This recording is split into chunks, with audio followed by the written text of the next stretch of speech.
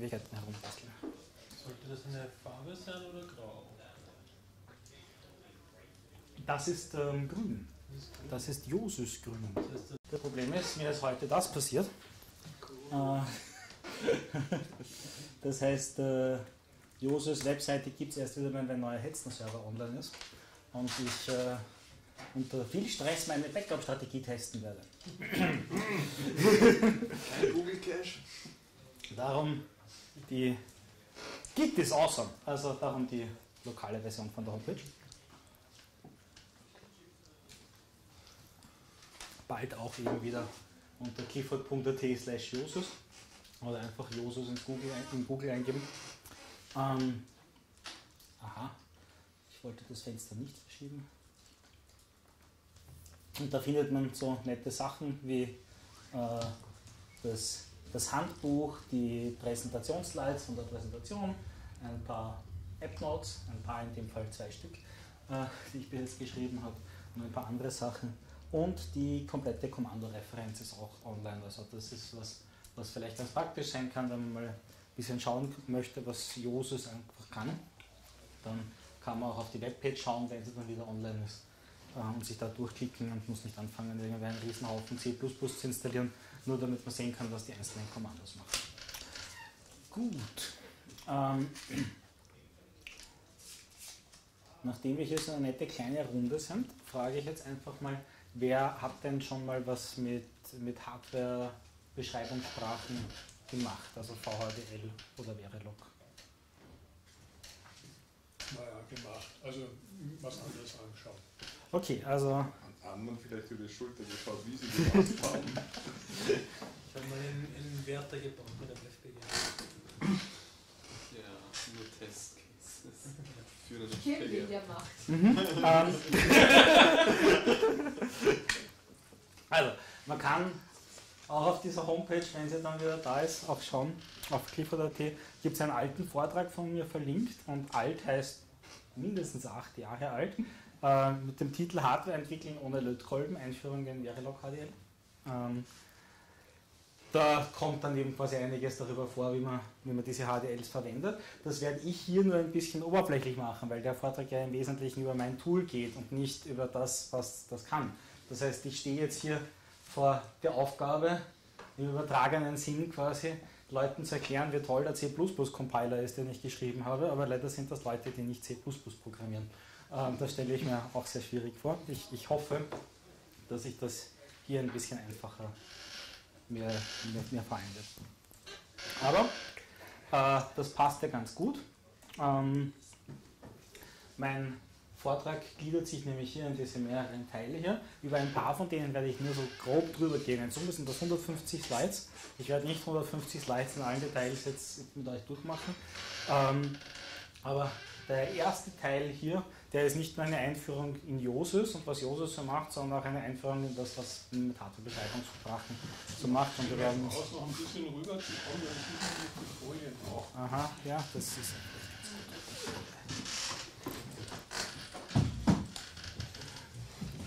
Geht das noch für dich? Sieht ihr aber dann niemand. Hm, Naja, das ist. Ist das so schlimm? Ja. Ich muss auch noch mein Handy lautlos machen, ist mir gerade eingefallen. Das ist eine gute Idee. Gell? Weiß noch nicht genau, wie es geht. So ein neues Handy. Einfach ausschalten. Flugmodus. Ja. Ah, Airplane-Modus ist eine gute Idee. So, jetzt bin ich wirklich offline. Gut.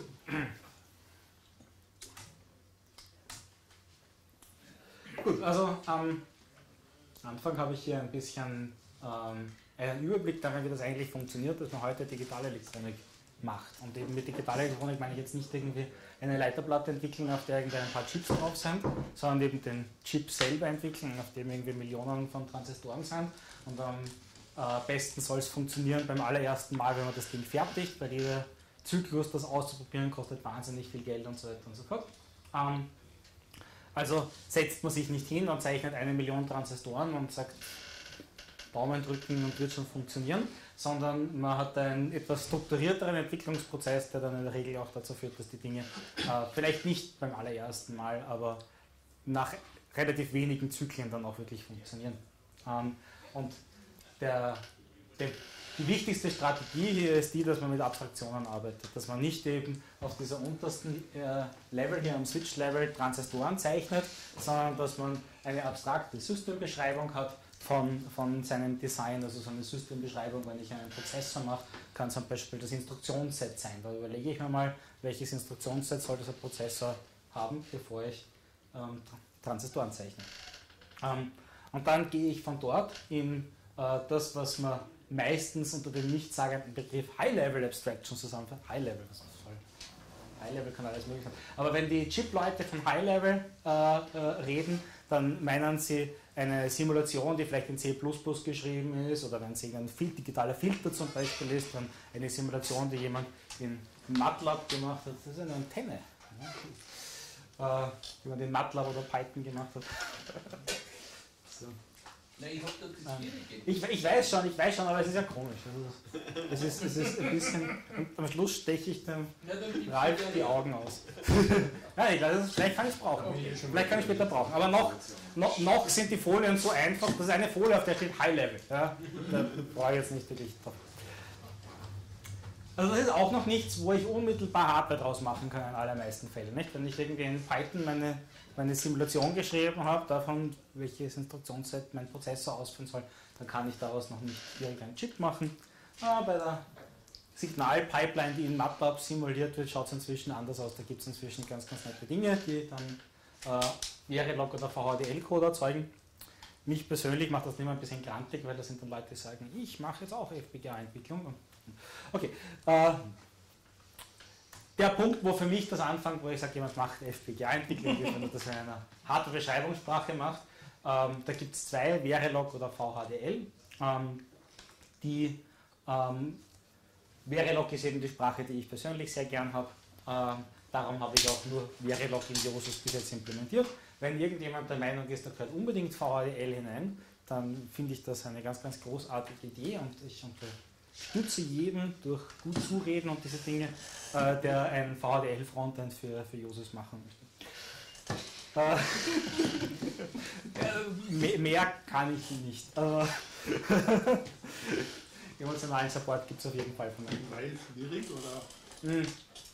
Das ist anders, ganz anders. Also es ist sicherlich zum Teil ähm, so, dass VHDL auch ein bisschen schwieriger ist zu implementieren, das Verilog. Ähm, und aus, der, aus dem Standpunkt, wo ich diesen, diesen Konflikt sehe zwischen diesen beiden Sprachen, sage ich, das kommt daher, weil VHDL von einem Gremium gemacht wurde und dort viele Leute waren mit äh, sicherlich vielen Ideen, die isoliert alle sehr, sehr gut waren, aber wenn man alle in ein Ding zusammenstoppt, ähm, dann kommt was raus, was vielleicht ein bisschen zu viel kann. Meine Meinung. Design by Committee. Design by Committee. Genau. Ist meine Meinung. Es gibt genug Leute, die das anders sehen und die sagen, Verilog ist ganz furchtbar und VDL ist ganz großartig. Ähm, ja. Ich will aber auch gar nicht da zu sehr hinein in diesen Sprach- und Religionskrieg.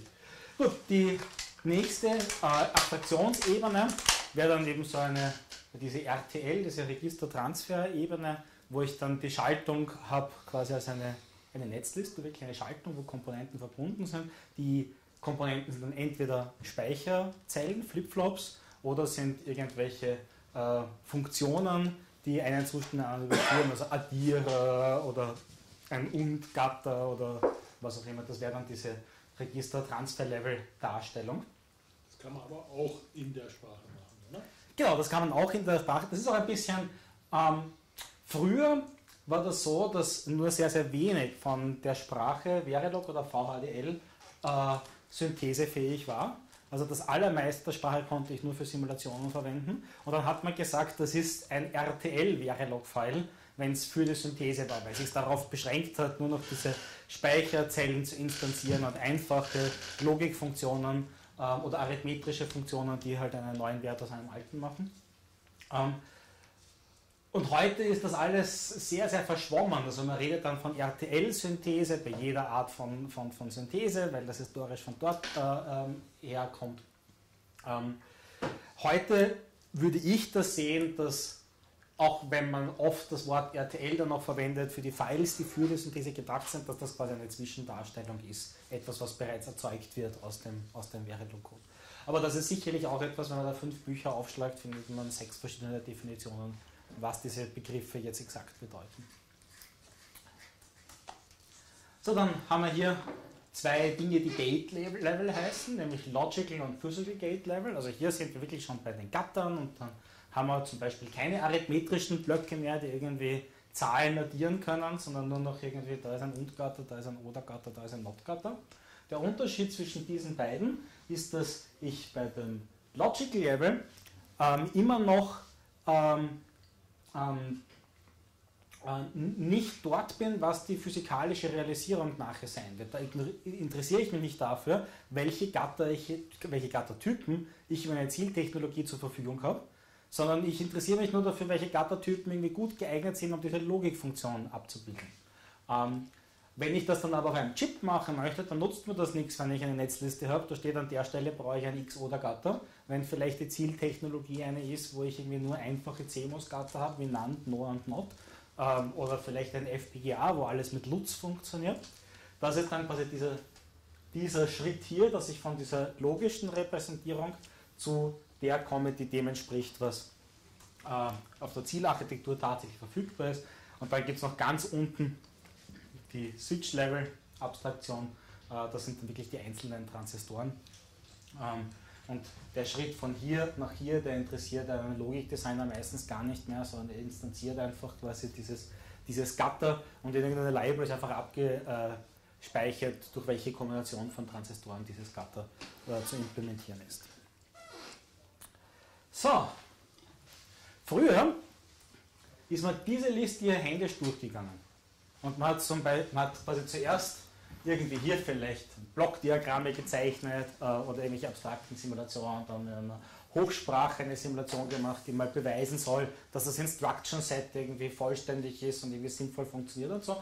Und dann hat man in einer HDL äh, eine Simulation gemacht und dann hat man in dieser HDL äh, in diesem HDL-Projekt die einzelnen Module genommen und hat die reimplementiert, aber auf der Ebene und hat dann immer noch vergleichen können, was ich jetzt hier mache, was irgendwie schon sehr schaltungsmäßig ist, das vergleiche ich in der Simulation mit dem drüber. So kann ich eine Komponente nach der anderen auf diese Ebene bringen.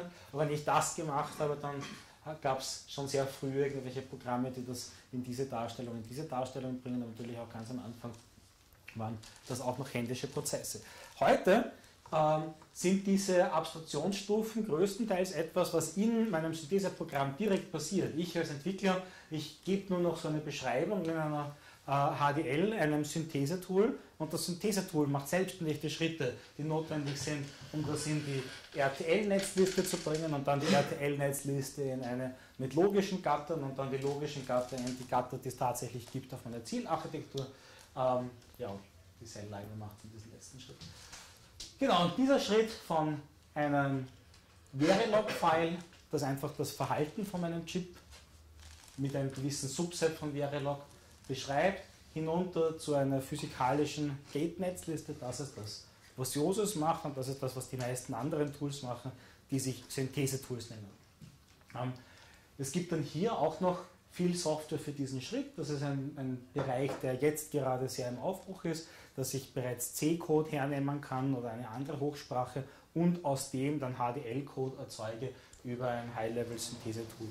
Also da gibt es zum Beispiel von Xilinx gibt es das Vivado HLS, das wäre zum Beispiel so ein kommerzielles Tool, das das kann. Es gibt auch ein paar äh, Projekte, die Open Source sind oder äh, zumindest irgendwie gratis zum Downloaden irgendwo. Ähm, Manche von denen, da hoffe ich, dass die Autoren noch zu Besinnung kommen, weil es gar irgendwelche Uni-Projekte sind, aber die hoffen darauf, dass halt jetzt jemand kommt und irgendwie die Software von ihnen freikauft. okay. Gut, also nachdem wir jetzt irgendwie ganz grob mal eine Vorstellung haben, wo dieses Joses hingehört, habe ich hier noch eine kleine Zusammenstellung von Sachen, die man mit Joses machen kann und die man nicht mit Joses machen kann. Also man kann mit Joses fast den kompletten Sprachumfang von Verilog 2005 abdecken. Das ist eine vergleichsweise aktuelle Version von Verilog. Es ist eigentlich das aktuellste, was sich Verilog nennt. Die neueren Standards heißen System Verilog, das ist ein anderer IEEE-Standard, ein IEEE 1800 und das ist, ich habe es vergessen. Der ist eigentlich wichtiger, weil mit dem arbeite ich die ganze Zeit, ein System Verilog verwende ich auch nicht. Ist es sehr unterschiedlich? Ähm, es kann viel mehr, äh, aber ein wesentlicher Unterschied zwischen System Verilog und Verilog ist, dass es für Verilog einen Standard gibt, was synthesefähig ist. Und das haben sie bei System Verilog komplett aufgehört.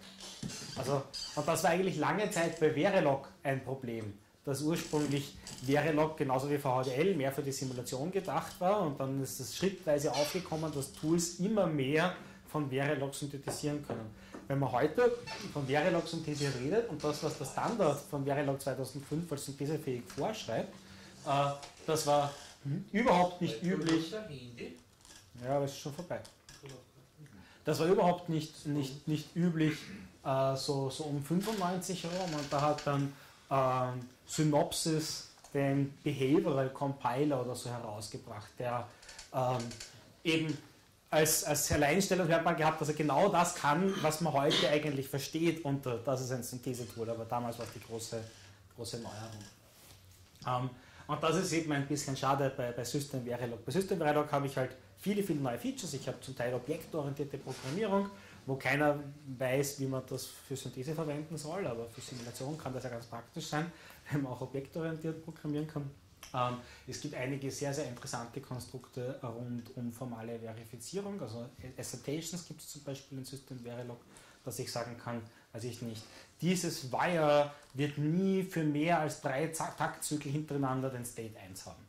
Und dann kann das in der Simulation automatisch mitlaufen und er schreit halt, wenn das halt doch passiert. Oder ich kann auch in eine formale Verifikation damit gehen und sagen, kann irgendein Eingangsmuster den Zustand herbeiführen, in dem diese Assertation violated wird und das Pin, der Pin dann doch für drei Taktzyklen hintereinander den Zustand einsetzt. Also das sind alles Sachen, die im System Verilog gehen. Ähm, die meisten Projekte, die man so findet, kommen mit Verilog 2005 aus. Also das dürfte jetzt irgendwie so auch der Konsens sein. Das ist das, worauf man sich irgend, was man voraussetzen kann. Verilog 2001 oder Verilog 2005. Die beiden sind relativ nah beieinander. Was ich noch mit Josus machen kann, ich kann alle möglichen Operationen auf diesen internen Netzlisten ausführen. Ich kann einfache Suchen und Ersetzen Sachen machen, dass ich einen Gattertypen durch einen anderen Gattertypen ersetze. Ich kann formale Beweise innerhalb von Netzlisten führen, das möchte ich irgendwie kurz herzeigen. Ähm, und man kann ähm, ein anderes Tool namens ABC aus Josus heraus verwenden, um Low-Level-Optimierungen zu machen und äh, Low-Level äh, Mapping auf physikalische Gates und so weiter. Also ABC ist äh, äh, eben ein Tool, das, das auch schon von sich behauptet, ein Synthese-Tool zu sein, aber eben nicht ein Verilog-Synthese-Tool, sondern einfach nur ein Tool, das mit Gattern und so gut, gut umgehen kann. Jedoch äh, muss ich sagen, die äh, Synthese so als Ganzes ist natürlich viel, viel mehr äh, als, als nur, dass man Sachen auf Gatter runterbricht, sondern gehört eben auch dazu, dass man zum Beispiel Block Memory erkennt in dem Design und dann eben eigene Block Memory Instanzen auslagert und so weiter. Und das sind, das sind quasi, das ist eine Abstraktionsebene zu hoch für ABC. Also diese Dinge muss ich in Josus machen. Aber wenn ich dann bei Gattern bin und irgendwie sage, okay, wie kann ich jetzt diese Kombination von logischen Gattern auf diese Kombination von physikalischen Gattern mappen, da ist ABC ganz hervorragend. Was ich, mhm. Und Place and Route ist dann ähm, die, die Ebene auf dem FPGA, wo was hinkommt, oder? Genau, also das Place and Route wird von Josus nicht gemacht. Das ist eben hier, kann ich nicht. Ähm, und je nach Zieltechnologie ähm, ist das eben sehr, sehr verschieden. Also es Und gibt sehr proprietär, oder? Genau, und, und sehr proprietär. Also bei FPGAs gibt es von jedem Hersteller äh, ein, ein Tool oder ein paar Tools, die das können. Ähm, selbst wenn ich kommerzielle Tools, also wenn ich jetzt zum Beispiel Xilinx FPGAs verwende, aber nicht die Xilinx Toolchain, sondern ich verwende die Synopsys Toolchain für, äh, für FPGAs, dann machen die auch nur die Synthese, also im Wesentlichen das, was das Josus macht, gehen aber für Place and Route wieder in das Tool von, von Xilinx, also auf der Kann Ebene. ich Place and Route sozusagen Vorgaben machen und dann macht den Rest das proprietäre Tool? Oder? gibt es da kein Interface. Mm, Du kannst so Sachen machen wie Placement Constraints zum Beispiel. Du kannst sagen, diese DSP-Zelle gehört genau dorthin auf, auf, auf den Chip. Sowas geht. Ähm, wird, äh, wird, wird auch oft gemacht für verschiedenste. Weil man dann natürlich eventuell die Arbeit, die das Tool dann Ja. macht, verbessern kann. Was man praktisch nie macht, ist, dass man händisch routet. Das können Ja. quasi auch kaum, kaum Tools. Aber wenn ich quasi ein Placement vorgebe, dann ist damit meistens schon das Routing mehr oder weniger Das, das ist ja auch massiv hardwareabhängig. Schon von deswegen macht es auch wenig Sinn, wenn man da nicht das Tool vom Hersteller der Hardware nimmt. Ja, ja. Ja, also vor allem ähm, will ich ja nicht nur das Design, das ich habe, platzieren und routen, sondern ich will auch wissen, wie schnell kann das denn sein. Das heißt, ich muss eine statische Timing-Analyse machen.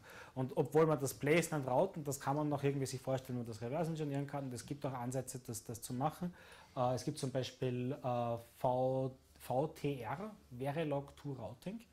Äh, das ist ein Package, das das für gewisse Xilinx FPGAs kann, die gesamte Chain. Ähm, Source oder? ist Open Source. Äh, verwendet im Augenblick als Sprachfrontend nicht Josus, sondern Odin 2, ein Tool, das behauptet, Verilog zu können, aber äh, ich kann ein paar Sachen herzeigen, Unterschiede zwischen. Also ich habe einige Tools getestet, bevor ich angefangen habe, mein eigenes zu schreiben und äh, äh, das und die, die ganzen Tools, die ich gefunden habe, die behaupten, sie können Verilog-Synthese, ja, die können ein Modul machen, in dem sie einen Input-Pin mit einem Output-Pin verbinden. Aber eben so richtig Verilog-Synthese, wir werden dann nachher ein paar Beispiele sehen, was das Tool da können muss, kann, kann eben keins von denen. Und da habe ich aber jetzt diese Woche gesehen, dass äh, irgendjemand auf GitHub Josus geforkt hat und angefangen hat, Patches einzubauen, damit es die Netzlistenformate schreiben kann für VTR. Ähm, also möglicherweise wird Josus bald das, das Frontend von VTR werden. Ähm, von, es gibt noch andere, es gibt QFlow zum Beispiel, das ist ein freier Flow für ASIC-Designs. Ähm, das ist ein, bisschen einfacher zu generalisieren. Nicht? Also für den Design-Ingenieur würde ich sagen, ist ein ASIC-Design schwieriger zu machen als ein FPGA-Design. Einfach darum, weil du nichts ausprobieren kannst und so viel daran hängt, dass das jetzt irgendwie auch funktioniert und so. Nur- Normalerweise machst du es erstmal in dem FPGA, probierst es soweit aus. Ja, dann, dann hast du es ja nur mal logisch verifiziert. Ja, ja. Aber dann hast du immer noch, also ganz oft gehen dann Chips, quasi Projekte äh, schief, weil irgendwas schief gegangen ist beim Anbinden vom IO-Pin. Sowas in der Richtung. Das sind dann oft Sachen, wo dann die formalen Verifikationstools auch aussteigen und so.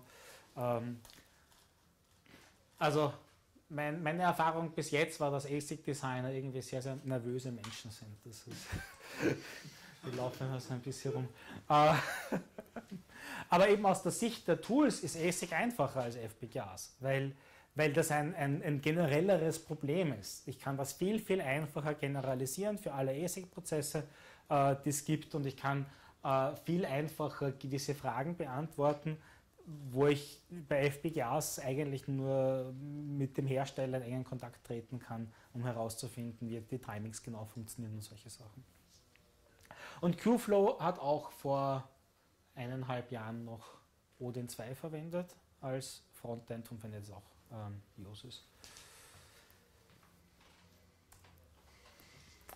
So, wenn ich jetzt mit dem Josus arbeite, wie schaut da grundsätzlich der, der Datenfluss sozusagen aus?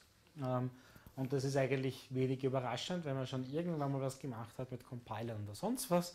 Ich habe hier unterschiedliche, relativ gut voneinander getrennte Module, die eigentlich nur darüber miteinander reden, dass es ein gemeinsames Austauschformat gibt und quasi dieser Teil hier, wenn er fertig ist, hat einfach das Design im Speicher in diesem Format zurückgelassen und das, die nächste Komponente, die dann auf dieses Design losgeht, findet sie eben vor in diesem Repräsentation, baut sie irgendwie um, macht eine Änderung und gibt es dann aus. Und ganz am Anfang gibt es ein Frontend, das erstmal den HDL-Code in, in diese interne Darstellung bringt.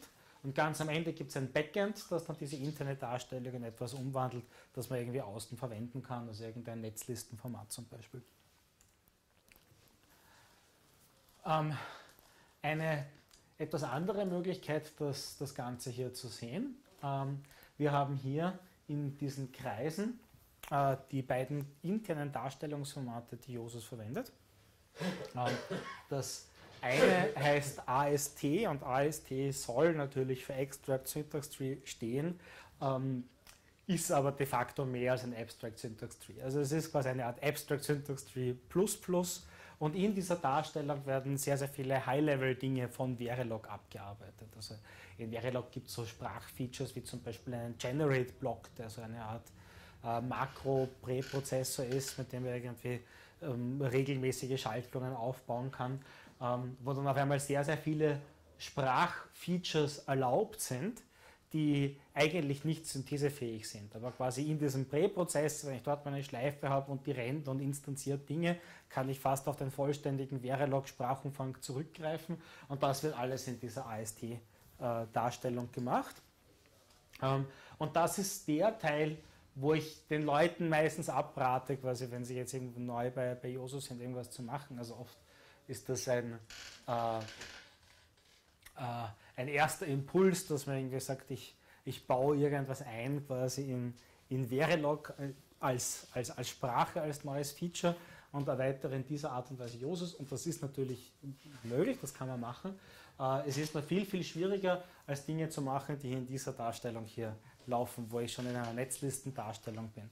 Und die meisten Sachen, die, würde ich sagen, von praktischer Relevanz sind, dass man das anpassen kann, passiert hier. Also wenn ich jetzt irgendwie ein, eine neue Architektur unterstützen möchte, wenn ich eine neue Art von formalen Beweis führen möchte, also das wird alles hier gemacht. Und hier gibt es eigentlich kaum Notwendigkeit, neue Features einzubauen. Ähm, einfach darum, weil in der Hardwareentwicklung das nie so ist, dass ich einen Verilog Source habe und der wird nur von einem Tool verwendet.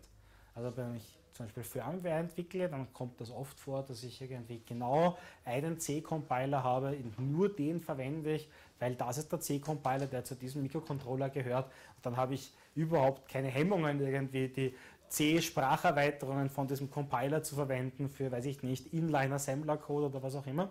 Das werde ich bei Verilog kaum machen, weil wenn ich ein Verilog-Projekt habe, dann werde ich die gleiche Codebasis durch mein Synthese-Tool durchschicken wollen, durch mein Simulationstool durchschicken wollen, meistens auch noch durch ein anderes Simulationstool durchschicken wollen.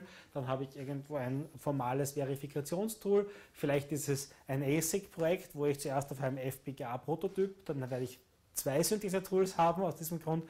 Das heißt, es gibt relativ wenig Fälle, wo ich bereitwillig in meinem Verilog-Code ein Sprachfeature verwenden werde, das nicht Teil des Verilog-Standards ist, sondern etwas, was nur ein Tool kann.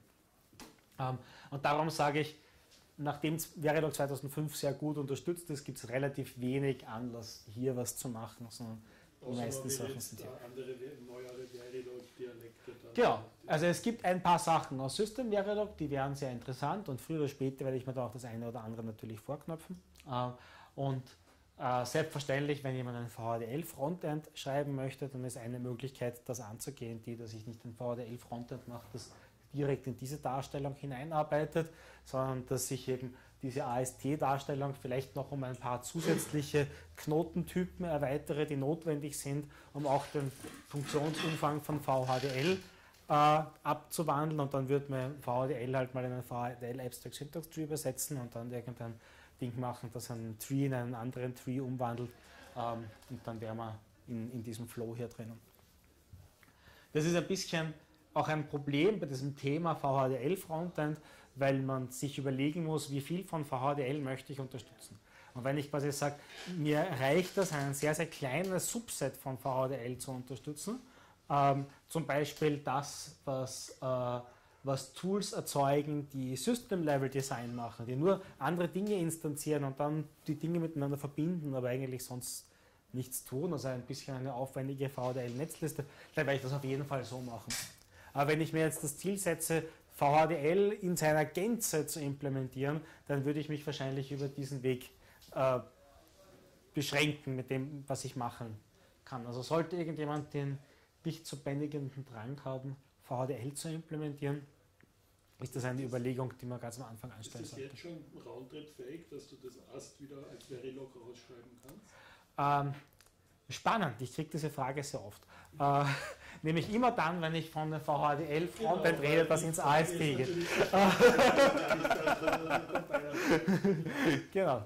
Ähm, also, es gibt einen Debug-Switch, mit dem das sogenannte AST-Frontend, also wir haben eigentlich zwei Frontends, ein Verilog-Frontend, das AST macht, dann passiert da alles Mögliche und dann wird das AST-Frontend in RTLL umgewandelt. Ähm, das hat ein, ein, einen Switch, mit dem ich wieder Verilog erzeugen kann. Ähm, das ist aber Verilog, den ich, den ich nie in ein Synthese-Tool oder Simulationstool hineingeführt habe und wo ich jetzt schon zwei, drei Sachen weiß, die man noch quasi machen müsste, damit das wirklich eine Verilog-Ausgabe ist und nicht nur ein Debug-Dump, der sich syntaktisch sehr nah an, an Verilog annimmt. Nur, wenn ich einmal hier bin, dann kann ich auch diesen Weg gehen. Und dann bin ich beim Verilog Backend und erzeuge eine Verilog Netzliste. Ja, aber dann bist du äh, von der Abstraktionsebene tiefer, oder? Dann bist du von der Abstraktionsebene tiefer, nur eben, wenn das AST-Frontend fertig ist, dann bin ich eigentlich schon ziemlich nah an dem. Also dann habe ich eigentlich in AST etwas, was dem hier entspricht. Ja.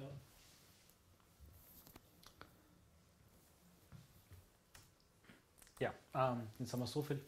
Das, die wichtige Darstellung ist die hier, die RTLL-Darstellung. Es gibt andere Frontends, die direkt in diese Darstellung hineinarbeiten. Es gibt eben viele Passes, so Kommandos, die in dieser Darstellung arbeiten und am Schluss kann man es dann quasi in eins der Backends schicken, um wieder Ist eine das Ausgabe zu zeigen. hast, das RT-Lil? Oder Ja, das, das habe ich erfunden und steht für RTL in Intermediate Language. ähm, und ist eben sowohl eine In-Memory-Darstellung von dem Design als auch eine Textrepräsentation von dieser In-Memory-Darstellung. Also das ilang Backend hier, ilang, das ist die, das, so habe ich das Textformat genannt, das dem RTL-IL entspricht. Und das ist sehr einfach zu parsen. Also es gibt einen Pascal-Parser für das ilang-Format, weil es äh, ein äh, PhD-Projekt gibt, das Josus für Cross-Grain-Synthese verwendet und der Mensch ist ein Pascal-Fan, also hat er einen Pascal-ilang-Parser geschrieben. Gut. So, also jetzt habe ich ein bisschen lange geschwafelt über so ganz, ganz allgemeine Dinge, welche Abstraktionsebenen es gibt und dass die Synthese das in der einen Abstraktionsebene nimmt und in die andere überführt. Schauen wir uns ein Beispiel an. Ähm, und was ich jetzt hier zeigen werde, der Reihe nach sind zuerst die, äh, die Josus-Skripte, die man braucht, um dieses Beispiel zu übersetzen. Das heißt, wir müssen uns noch ein bisschen gedulden, bis wir Verilog sehen. Aber dann sehen wir Verilog, nämlich das Beispielprogramm, das wir mit diesen Skripten äh, übersetzen wollen. Und zwar wollen wir das übersetzen in eine einfache CMOS-Cell-Library, also wo ich NAND habe und NOR und NOT, also lauter invertierende Gatter und ein einfaches Flipflop. So, also wenn ich Josus verwenden möchte, dann muss ich für Josus so ein Synthese-Skript schreiben. Also das ist schon mal ein großer Unterschied zu, ich rufe einen C-Compiler auf, weil meistens muss ich für den C-Compiler kein besonderes Skript schreiben, sondern ich sage einfach C-Compiler mach. Und das kommt natürlich daher, dass der C-Compiler schon weiß, wofür er kompilieren muss. Meistens ist es ein Compiler, der das native System targetet. Aber Josus weiß halt nicht, was es tun soll, was das, was das Ziel ist. Das heißt, die Schritte, die in den C-Compiler eingebaut sind, die muss ich ihm bei Josus in Form von seinem Synthese-Skript mitgeben. Ähm, und hier wäre so eins, zunächst einmal lese ich mein Design ein, da gibt es dann so Befehle wie read, read Verilog zum Beispiel, mit der ich eben alle Verilog Source Files einlesen kann, äh, die zu meinem Projekt gehören. Das heißt hier auch gleich ein anderer Unterschied zu, äh, zu dem, was man aus der, aus der Softwareentwicklung mit Compilern kennt, dass ich hier quasi keinen Schritt habe, der irgendwie einen Source-File in einen Objektfile macht und dann einen Link-Step, sondern es gibt nur einen Übersetzungsschritt und der wird für das gesamte Projekt durchgeführt. Das heißt, auch die Testzyklen sind hier vielleicht ein bisschen länger, wenn ich ein größeres Projekt habe, weil er jedes Mal das gesamte Projekt wieder neu übersetzen muss. Wenn ich damit fertig bin, dass ich alle Source-Files eingelesen habe, die zu meinem Projekt gehören, dann muss ich äh, äh, Josus sagen, dass er jetzt die Design-Hierarchie äh, untersuchen soll von meinem Design. Ähm, und das tue ich mit dem Kommando Hierarchy. Äh, in dem Fall sage ich noch minus check. Minus check sollten wir eigentlich immer verwenden. Also eigentlich, vielleicht ist das ein Fehler, dass es die Option gibt. Vielleicht soll es eine Option No check geben für einen anderen Fall. Ähm, und check scha schaut einfach nach, gibt es Module, die referenziert werden aus anderen Modulen, aber die nicht Teil des, des Designs sind. Und wenn ja, sagt check ein Fehler, das ist irgendwie keine Design-Hierarchie, die, die vollständig ist. Äh, es gibt aber oft Fälle, wo ich ganz bewusst quasi das, das erlauben möchte und dann mache ich eben nicht Check. Und dann kann ich mit minus Top noch sagen, wie meine Top-Level, mein Top-Level-Modul heißt in, in, meinem, äh, in meinem Design. Ähm, und wenn ich nicht ein Top-Level-Modul angebe, dann wird quasi jedes Modul als potenzielles Top-Level-Modul behandelt. Das heißt, ich könnte ein Design haben, in dem ich irgendwie ein Modul habe, das heißt A, das inkludiert alles andere und ein Modul B, das inkludiert auch alles andere, aber A und B inkludieren sich nicht gegenseitig. Und dann wäre sowohl A als auch B ein mögliches Top-Level-Modul. Und wenn ich sage minus Top A, dann würde er drauf kommen, B kommt in die Hierarchie nicht vor, schmeiße ich weg. Wenn ich sage minus Top B, dann sagt er, das A kommt nicht vor, schmeiße ich weg. Aber wenn ich kein Top sage, dann sage ich, ich weiß es nicht, das könnte alles sein. Und es gibt eben viele Anwendungen, die vielleicht nicht unbedingt Synthese sind, wo das auch sinnvoll sein kann, dass ich irgendwie viele Module mal hineinlade, die jetzt aber nicht unbedingt eine geschlossene Designhierarchie bilden. Ähm, und da sieht man eben schon, das sind so Sachen, das kann man mit den meisten anderen Tools nicht machen, weil die haben eine klare Vorgabe, ich bin ein Synthese-Tool und da brauche ich eine Designhierarchie. Und weil ich halt mit Josus mehr machen kann als nur einfache Synthese, nur, äh, äh, muss ich halt solche Sachen auch explizit machen. Okay, da gibt es eine ganze Reihe von Kommandos, die ich in der einen oder anderen Form immer verwende, wenn ich so ein Synthese-Skript habe, außer ich möchte halt irgendwie ganz, ganz besonderen Dinge tun. Ähm, proc löst sogenannte Prozesse auf, also das ist etwas, was ich in der Programmierung von solchen Sachen machen kann, dass ich Dinge schreibe, als wären das quasi unabhängig voneinander laufende Threads. Äh, und das wird zunächst einmal in diese mit Zwischendarstellung RTLL hineingenommen mit einem besonderen Objekt, das dort äh, passiert. Und der proc-Befehl wandelt das dann quasi in die anderen, in die einfacheren Komponente um. Also das ist bereits eins der Dinge, die nur dafür da sind, eine Abstraktionsebene runterzugehen. Man könnte sagen, quasi proc ist der Schritt, der uns vom Behavioral Level auf RTL Level bringt. Und das ist nicht Teil des Frontends aus dem einfachen Grund, dass es immer wieder Sachen gibt, die ich möglicherweise davor machen kann oder in diesem Ding anders machen möchte. Wir werden sowas sehen. So, opt ist eine ganze Reihe von Optimierungen und viele sind diese Skripts, in denen wir voll mit solchen opt aufrufen. Jeder zweite Befehl ist opt. Und wenn wenn, ich halt, wenn ich halt ein wirklich großes Design habe und dann kann man vielleicht überlegen, macht das wirklich Sinn, jetzt schon wieder zu optimieren und dann kann man ein bisschen, aber für einfaches äh, Dinge bietet sich das wirklich an, so als Muster. Irgendein Befehl, opt, ein Befehl, opt, ein Befehl, opt. Und äh, opt zweimal ist äh, idempotent oder? Ja, weil nämlich opt intern eine Schleife hat, die so lange läuft, bis er keine Änderung mehr gemacht hat.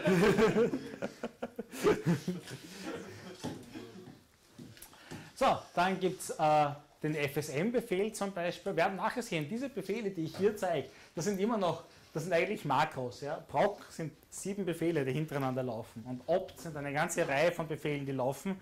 Und dann führt das nochmal aus und nochmal in der Schleife, bis er nicht keine Änderung mehr gemacht hat. Ähm, FSM ist so eine Cluster, so eine Gruppe von Befehlen, um, um endliche Zustandsautomaten zu optimieren und zu erkennen in dem Design. Also es kommt irgendwie öfter vor, dass Designs ähnliche Zustandsautomaten beinhalten, habe ich gehört in der digitalen Elektronik. Ähm, und da gibt es eine ganze Reihe von Dingen, die man machen kann mit denen, damit sie optimaler werden. Und das soll dieser Befehl tun. Dann mache ich opt und dann mache ich Memory. Memory ist eben der Teil, der jetzt schaut, welche, welche Speicher gibt es in dem Design, wie viele Ports haben die ähm, da werden dann zum Teil Sachen gemacht. Da verwendet auch einen Satzsolver, um herauszufinden, ob zum Beispiel Ports nie gleichzeitig verwendet werden und dann mercht er sie in einen Port zusammen, weil irgendwie ein Memory mit zwei Ports ist praktisch doppelt so teuer. ähm, ja, und dann mache ich wieder opt. Ähm, und dann mache ich TechMap. Und TechMap nimmt jetzt diese, diese RTL-Zellen, in der Jo-System-Nomenklatur heißen die Coarse-Grain-Zellen äh, und übersetzt in Fine-Grain-Zellen. Das sind dann quasi Gatter. Und die Coarse-Grain-Zellen sind eben sowas wie ein Eider oder auch ein 8-Bit breites Oder-Gatter. Ähm, und beides gibt es nicht als echte Lohe-Gatter. Das echte Lohe-Gatter gibt es irgendwie nichts, nichts was, was Vektoren verodert, sondern nur einzelne Bits verodert. Und es gibt nichts, was addiert, sondern ich kann halt irgendwie viele Gatter so gescheit zusammenschalten, dass sie in Summe dann addieren. Ja, und äh, TechMap weiß quasi, wie es einen Adder übersetzen kann in einzelne Gatter. Und nach TechMap habe ich im Grunde, was ich gesagt habe, so eine Logic Gate Netzliste. Kannst du theoretisch mehrere Möglichkeiten fürs Mapping geben bei dem? Oder? Muss es.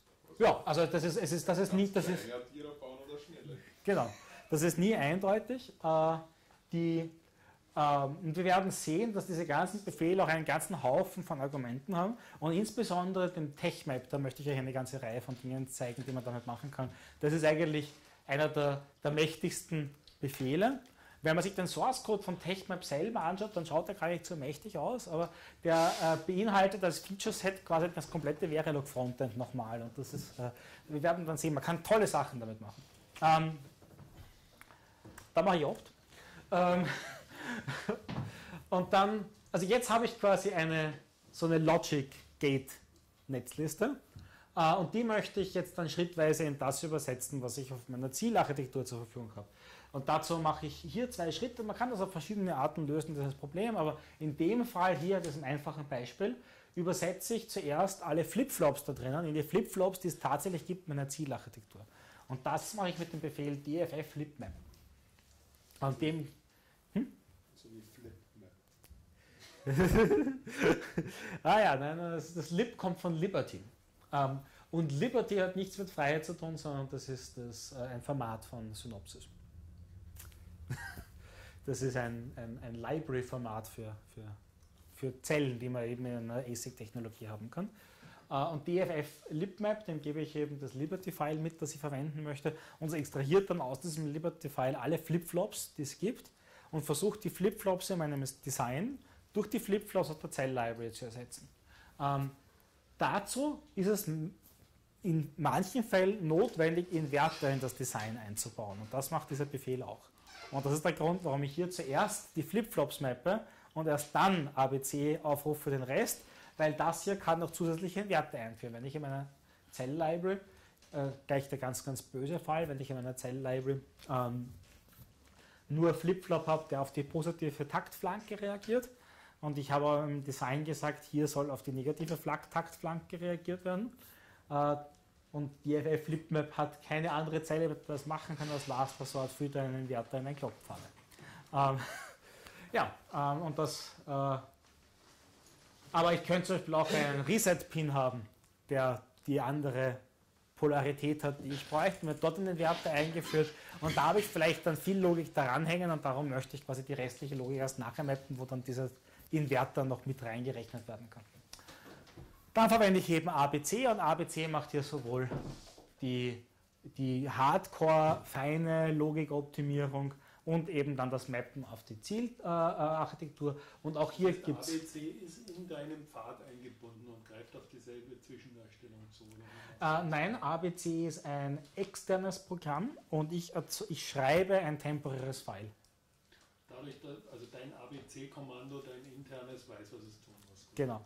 Äh, wenn du Josus runterlädst und übersetzt und ABC nicht wegkonfigurierst, was man kann, dann wird das Josus-Bildsystem eine gewisse Version von ABC auschecken und auch bauen unter dem Namen Josus-ABC. Also ABC ist quasi ein losgelöstes Projekt, aber so hat eine so wichtige Rolle in, in Josus, dass ich nicht mehr sage, ich verwende das ABC, was installiert ist im System oder so, sondern es gibt eine ganz spezielle ABC-Version, auf die ich mich beziehe und äh, die kommt mit Josus mit. Ja, wenn ich schon darüber rede, kann ich auch weitergehen. Gut, und dann mache ich nicht opt, ich mache clean. Äh, clean ist der letzte Schritt von opt, damit es schneller geht. äh, Gibt es quasi clean auch. Äh, so eine Frage, Mhm. wenn du die Opts dazwischen weglassen würdest, würde er nachher dann die gleiche, das gleiche Output ergeben? Nein. Das Ähm, unterschiedliches Opt oder macht das Opt das gleiche? Das Opt macht immer was, was, was anderes, aber es kann sein, dass wenn ich hier nicht Opt aufrufe, dass er irgendwelche Konstanten nicht gefoldet hat und daraufhin macht er hier was ganz anderes bei der FSM, weil er nicht sieht, dass dieser eine Pin gar, sich gar nicht verändert und so weiter und so fort. Und darum eben ist besser nach jedem Schritt Opt aufrufen und sich nicht da- darum kümmern, außer man hat eben so große Designs, dass das einen Unterschied macht, dann kann man sich überlegen, wo man welche Art von Opt verwendet. Es gibt auch Opt-Fast zum Beispiel, der macht dann quasi gewisse Dinge nicht.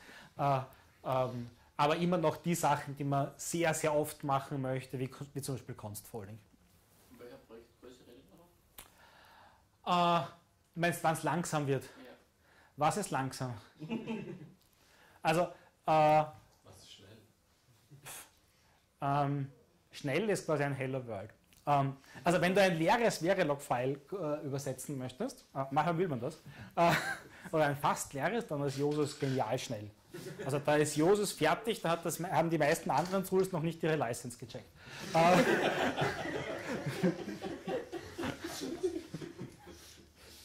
Ja, mit, mit, mit Vivado ist es genauso. Ähm, aber wenn ich quasi ein, ein Projekt habe, das in einem kommerziellen Tool irgendwie 5 oder 10 Minuten rennt, dann kann es sein, dass das in Josus 20 Minuten rennt.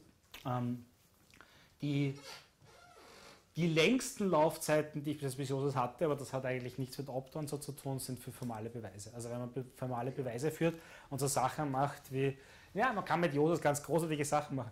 Ich glaube, das Witzigste, was ich bis jetzt gemacht habe, war, ich habe für den Navre, das ist ein AVR-Klon, habe ich den äh, Satzsolver in Josus verwendet, um eine kurze Sequenz zu finden von Befehlen, die alle Register initialisiert. ja, sowas kann man machen. Obere Grenzen, also projektgrößenmäßig? Ähm, mh, ich, also so als grobe Faustregel, aber wirklich nur als grobe Faustregel, würde ich sagen, der Speicherverbrauch ist in der Größenordnung von einem Gigabyte pro Million Gatter. Also wenn man sich dann nachher das Projekt anschaut. Ähm, das heißt, wenn ich jetzt ein, ein ganz, ganz großes Projekt mache mit, mit, weiß ich nicht, 100 Millionen Gatter, dann habe ich schon Probleme. Ich meine auch mit der internen Variablenbenamsung und so, dass es da irgendwelche Überläufe geben kann oder so. Äh, mit der internen Variablenbenennung, also es gibt eine Einschränkung, du kannst nicht mehr als 4 Milliarden Identifier haben. Nein, 2 Milliarden Identifier. Gott. Ja, genau. Ähm, ich, ich hätte auch SISP verwenden können, nur ich habe realisiert, ich kann es nicht testen. Und das heißt, es ist sowieso irgendwo ein Bug drin. Also mache ich gleich ein int und mache eine harte Grenze und es sagt, tut mir leid, das sind mehr Objekte, als ich verwalten kann. Ähm, aber äh, also man kann natürlich Fälle konstruieren, wo das dann, wo, wo diese Aussage jetzt nicht zutrifft, aber in aller Regel, wenn ich Projekte habe dieser Größe, will ich nicht mehr den ganzen Chip in einem Syntheselauf durchführen, sondern dann sage ich zwar nachher, mein Chip hat eine Milliarde Gatter, aber in Wirklichkeit ist es ein Grafikprozessor und der hat irgendwie 2500 Mal die gleiche GPU drinnen instanziert und so weiter und so fort. Also, ähm, Also es ist sicherlich nicht das effizienteste Tool, aber von dem, was ich bis jetzt bekommen habe an Beispielprojekten, ist, bin ich meistens ganz gut damit, damit ausge, ausgekommen. Mein Fokus ist aber mehr auf der einfachen Erweiterbarkeit als auf der, äh, auf der Performance. Ähm, und da gibt es so ein paar Sachen, die sich quasi durchziehen. Zum Beispiel optimiere ich nichts, was O von N hat. Also quasi es gibt so viele Fälle da drinnen, wo ich quasi einfach über alle Objekte in dem Design durchiteriere und ich mache mir erst Gedanken um Performance bei den Dingen, die quasi schlechter skalieren als O von N oder O von N mal log N oder sowas in der Richtung. Also du optimierst nichts, was O von N ist. Ja. Ja, macht Sinn. Ja. Was man durchaus tun könnte, dass man einfach sagt, was wäre die effizientere Datenstruktur, um quasi über alle diese Objekte zu iterieren und so. Und dann hat man halt ein Tool, das doppelt oder dreimal so schnell ist wie Osus. Aber das jetzt, ist nicht mein Ziel. Nee. Sind die Prozessoren eh Genau. das Genau, ist. genau, genau. Also auch, auch bei den Compiler, ich bin, ich bin Wenn man auf, Login kommt, das kann schon ordentlich Performance-Unterschiede machen bei großen Sachen. Nein, also ich glaube, er überlegt sich schon, wenn er einen Algorithmus findet, der von O von N auf O von log N kommt, oder? Wenn wenn Ja, aber, aber, aber, aber, aber O von N ist, also, also das hängt davon ab, was Er jetzt. optimiert nichts, was O von N ist und nachher O von N, nur das N ist kleiner, also das, Genau. das O ist kleiner. Ja? Genau. Also der, der Ja, Faktor ist Konstante Genau. Okay, ja, das. Und das wäre was sowas typisches, dass man sagt, hm, ich könnte diese Datenstruktur ein bisschen anders aufbauen. Dann brauche ich einen Pointer weniger dereferenzieren jedes Mal, wenn ich ihn anschaue und so weiter. so. Äh, Kann, kann man machen, mein, mein, mein Ziel ist ein anderes. Mein Ziel ist es, ein Tool zu machen, das für die allermeisten Sachen gut funktioniert und wo man sich einfach hineinhacken kann mit eigenen Sachen. Gut, und dann sage ich in dem Fall write Verilog und ich schreibe eben wieder ein Verilog-File raus, aber diesmal ist es eine Verilog-Netzliste. Also man könnte sagen, ich habe nichts gewonnen, weil ich habe Verilog zu Verilog gemacht, aber äh, Wir werden sehen. hast im Grunde auch so ein Skript, nur ist das im CC-Programm Hardcode drin. ja, Genau. Genau. Ja, beim Klang hat man ein bisschen mehr Kontrolle darüber, welche Passes laufen und so. Das ist übrigens, ähm, Geht jetzt ja da Optionen ohne Ja. Ende, aber das du halt Ähm, das ist übrigens sehr, sehr, sehr, sehr witzig. Also das ist ja auch meine Bachelorarbeit gewesen, dieses, dieses Projekt. Aber eine Bachelorarbeit in, äh, in Elektrotechnik und nicht in, in Informatik. Und daraufhin habe ich natürlich rumstreiten müssen mit Sachen wie, wenn ich mit dem Begriff Compiler-Pass nicht ausgedacht habe, muss ich eine Quelle dafür angeben, weil das ist kein üblicher Begriff, das kann ich nicht voraussetzen, dass das Leute kennen. Das hat man, wenn man quasi de facto eine Informatik-Bachelorarbeit in einem anderen Fach macht. Bei den Informatikern gibt es auf der, auf der TU keine ESIC-Designer. Oder keine, die diesen Namen tragen Ja, eh. Gut, also wir haben jetzt das Skript durchexerziert. Ähm, schauen wir dann, was das Skript macht. Das ist mein Beispiel. Äh, das wäre eben jetzt ein Hardware-Design. So schaut das aus, wenn man ein Verilog Hardware designt. Ähm, ich habe hier einen, ein Modul, Counter.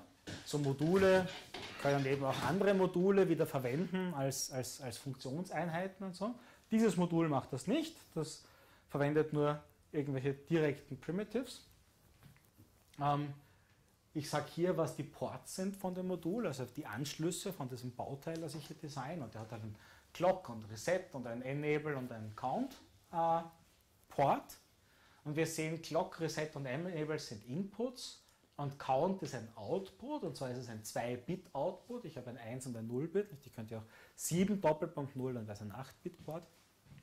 Ähm, außerdem ist es ein Register. Äh, und Register ist ein furchtbares Keyword in Verilog.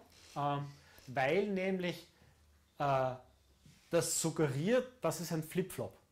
In der Hardwareentwicklung sagt man zu Flip-Flops oft, oft Register. Ähm, in dem Fall stimmt das sogar, aber es ist nicht immer der Fall, dass das ein Flip-Flop wird, wenn dort Rec steht. Und Rec meint eigentlich, das ist eine Variable in meiner Simulation. Äh, Im Gegensatz zu einem normalen Wired eigentlich nur ein Alias ist quasi für einen anderen Wire, den es schon gibt. Und das führt zu sehr, sehr vielen Verwirrungen, dieses Rec-Ding. Ähm, da muss man sich einfach gewöhnen, dass das Rec heißt, aber nicht immer ein Flip-Flop ist. Und, und dann steht in den meisten Büchern was Falsches, weil dort steht dann wieder, dass es ein Flip-Flop ist. Okay, aber hier, ja. In, Assembler ist ein Register auch wieder wie eine Variable. Ja, aber eben in der Hardware, aber, aber, aber in Assembler meine ich halt mit einem Register schon auch quasi eine sehr ein, eine, eine, eine knappe Ressource, nämlich die Register, die der Prozessor wirklich hat. Und, so. und hier ist eigentlich wirklich gemeint, das ist eine Variable. Ja. Das ist, wenn es quasi in der, Sim, in der Simulation eine eigene Speicherstelle gibt, die diesem Namen zugeordnet ist, das, das ist es, was es heißt. ist kein Output im hardware-technischen Sinne. In dem Fall ist es auch ein Output, also es ist ein, ein, Output-Rec halt. Also der Wert von dem Register ist gleichzeitig der Wert von diesem Output-Wire. Ich könnte ähm, ich könnte dieses, das hier könnte ich auch fünfmal deklarieren. Ich könnte quasi sagen Output 1 bis 0 Count und Rec 1 bis 0 Count. Hätte ich quasi und ich könnte auch noch sagen Wire 1 bis 0 Count. Und ich könnte alle parallel machen, warum auch immer. Aber damit kann ich quasi die, könnte ich zum Ausdruck bringen, dass quasi das alles ist. Es ist immer ein Wire, es ist in dem Fall ein Output und auch ein Rec. Also dieses Wire hat sozusagen zwei spezielle Eigenschaften. Ähm, gut, äh, hier habe ich dann einen Always-Block, das ist hier so ein Prozess. In VHDL heißen sie Prozesse und ich finde der Name Prozess ist irgendwie sehr hübsch. Also habe ich bei mir intern an der Darstellung auch den Namen Prozess verwendet. Man muss nicht alles in VHDL grauslich finden. Ähm, und dieser Prozess hier, der läuft quasi immer dann, wenn die positive Taktflanke kommt. Also das ist schon ein sehr, das ist eine sehr softwaremäßige Sicht, nicht? zu sagen, dieser Codeblock läuft jedes Mal, wenn das und das passiert. Und so ist das alles definiert, weil das eigentlich eine Sprache ist, um, Hardware simulieren zu können. Ähm, aber man kann sich überlegen, dass das eigentlich auch ganz gut auf Hardware direkt zutrifft, indem ich einfach sage, für alles, was beschrieben wird in diesem Block, mache ich ein Hardware-Register, ein Flip-Flop. Beschrieben wird hier nur Count, also mache ich aus Count mal ein Flip-Flop. Und jetzt aktualisiert dieses Flip-Flop immer den Wert bei der positiven Taktflanke, weil das der Eingang ist. Und alles, was hier sonst quasi äh, in dem ähm, Körper von diesem Prozess ist, definiert nur, was die Eingänge zu diesem Flip-Flop sind. Also da hätte ich jetzt hier eine if-Abfrage, das heißt, ich hätte einen Multiplexer, der quasi sagt, wenn das wahr ist, dann soll dieser Wert am Eingang vom Flipflop sein, also 0. Ähm, aber wenn das nicht wahr ist, dann habe ich einen anderen Eingang auf diesem Multiplexer, da kommt dann der Enable-Eingang rein und wird überprüft. Äh, und wenn das ist, dann nehme ich den alten Wert von Count plus 2. Und wenn das auch nicht ist, nicht, ich habe quasi da noch einen Eingang, der unbelegt ist von diesem Multiplexer, wenn dort nichts steht, nämlich den alten Wert von Count, dann ändert sich es nicht. Und damit hätte ich genau dieses Verhalten nachgestellt. Ähm ich gehe dann gleich wieder zurück. Ich wollte nur dieses Bild schnell zeigen. Da sehen wir das quasi. Das ist das Flip-Flop. Der Takt vom Flip-Flop kommt vom Clock-Input. Der Dateneingang vom Flip-Flop kommt von einem Multiplexer. Da ist der Reset-Eingang dran. Das heißt, wenn Reset high ist, dann wird der Eingang von diesem Flip-Flop mit dem Zahlenwert 0 gefüttert und bei der nächsten Taktflanke wird Count den Wert 0 haben, weil dann dieses Flip-Flop den Wert 0 treibt. Wenn aber Reset nicht high sondern low, dann kommen wir von dem Pfad hier und dann wird dieses, dieser Multiplexer verwendet, um zu entscheiden, ähm, welchen Wert Count bekommen soll bei der nächsten Takt. Und da gibt es wieder einen Select Input Enable und der sagt halt, ob der alte Wert von Count verwendet werden soll, wenn Select 0 ist, oder der alte Wert plus 1, wenn das 1 ist. Diese Notation mit 2 und diesem Hochkomma, was. Ja, danke. Äh, das hier ist eine Konstante, ein Verilog und Konstanten schreibt man komisch ein Verilog. Das ist eine 2-Bit-Konstante, ähm, die den dezimalen Wert 0 hat. Und ich könnte statt D auch B schreiben für binär oder H für Hex. Äh, diese Buchstaben gehen klein oder groß, habe ich kürzlich gelernt, weil jemand ein Bug-Report geschrieben hat und sagt, die Großbuchstaben gehen nicht. Äh, man glaubt nicht, wie viel man lernt von einer Sprache, wo man glaubt, ich habe den Standard schon zigmal gelesen und ich weiß alles. Und dann kommt er und sagt, hm, was, das geht? Das war auch bestimmt schwer zu fixen, der Bug. Ja, das war ganz, ganz furchtbar. Also 2D, 2 Wölfe. Nur Oktal haben sie nicht? Oh, Okt- oh Entschuldigung, O gibt es auch, Oktal gibt es auch. Äh, Da ist dann besonders gut, wenn man ein großes O verwendet. ja, ja, ja, ja. Macht große Kleinschreibung bei Namen einen Unterschied? Nein, macht, äh, äh, Groß- und Kleinschreiber macht bei Namen einen Unterschied. An, äh, bei, bei Verilog, das ist anders als zu VHDL. Bei VHDL ist Case insensitive. Ich habe keine Ahnung, ob sie definiert haben, was mit Unicode Characters passiert in VHDL. Das ist standardisiert bei Unicode, was sie als Groß- und Kleinbuchstaben voneinander zählen. Ja, ich, ich, ich, war, war, war nur ein Scherz. Ich nehme an, dass. Das wird von der Logik abhängen, will ich davon. Willst du noch hoffen? Wenn sauber gemacht ist. oder? Vielleicht jetzt beim I ohne Punkt. Okay, also ich glaube- Also danke, du hast jetzt genau auf den Punkt gebracht, warum ich der Meinung bin, dass das keine gute Idee ist, Case Insensitive bei Identifiern zu sein. Also ASCII, oder? Hm? Also ASCII. ich würde, ich würde, ja, aber. Also VHDL und Verilog erlauben beide nur 7-Bit ASCII für Identifier. Aber Das wollte ich gerade sagen, die werden seriöserweise so in der C-Welt, dass sie mit ASCII Ja, ja, de ja. facto erlauben. Also, also obwohl designed bei Committee, es muss nicht alles so schrecklich sein wie Java. Gut. Ähm, jetzt haben wir den Verilog-Code gesehen. Schauen wir uns noch kurz an, wie so ein Liberty-File ausschaut, in dem ich definieren kann, was die Zellen sind, auf die ich das dann abbilden möchte. Ähm, und da sage ich hier Hauptblock Library Demo. Demo ist nur der Name von der Library, da könnte ich irgendwas schreiben. Keine Ahnung, ob irgendein Tool verwendet, was da drinnen steht. Äh, und dann definiere ich halt der Reihe nach meine Cells und ich definiere einen Puffer, ich definiere ein Not-Gutter, ein NAND-Gutter, ein NOR und ein Flip-Flop.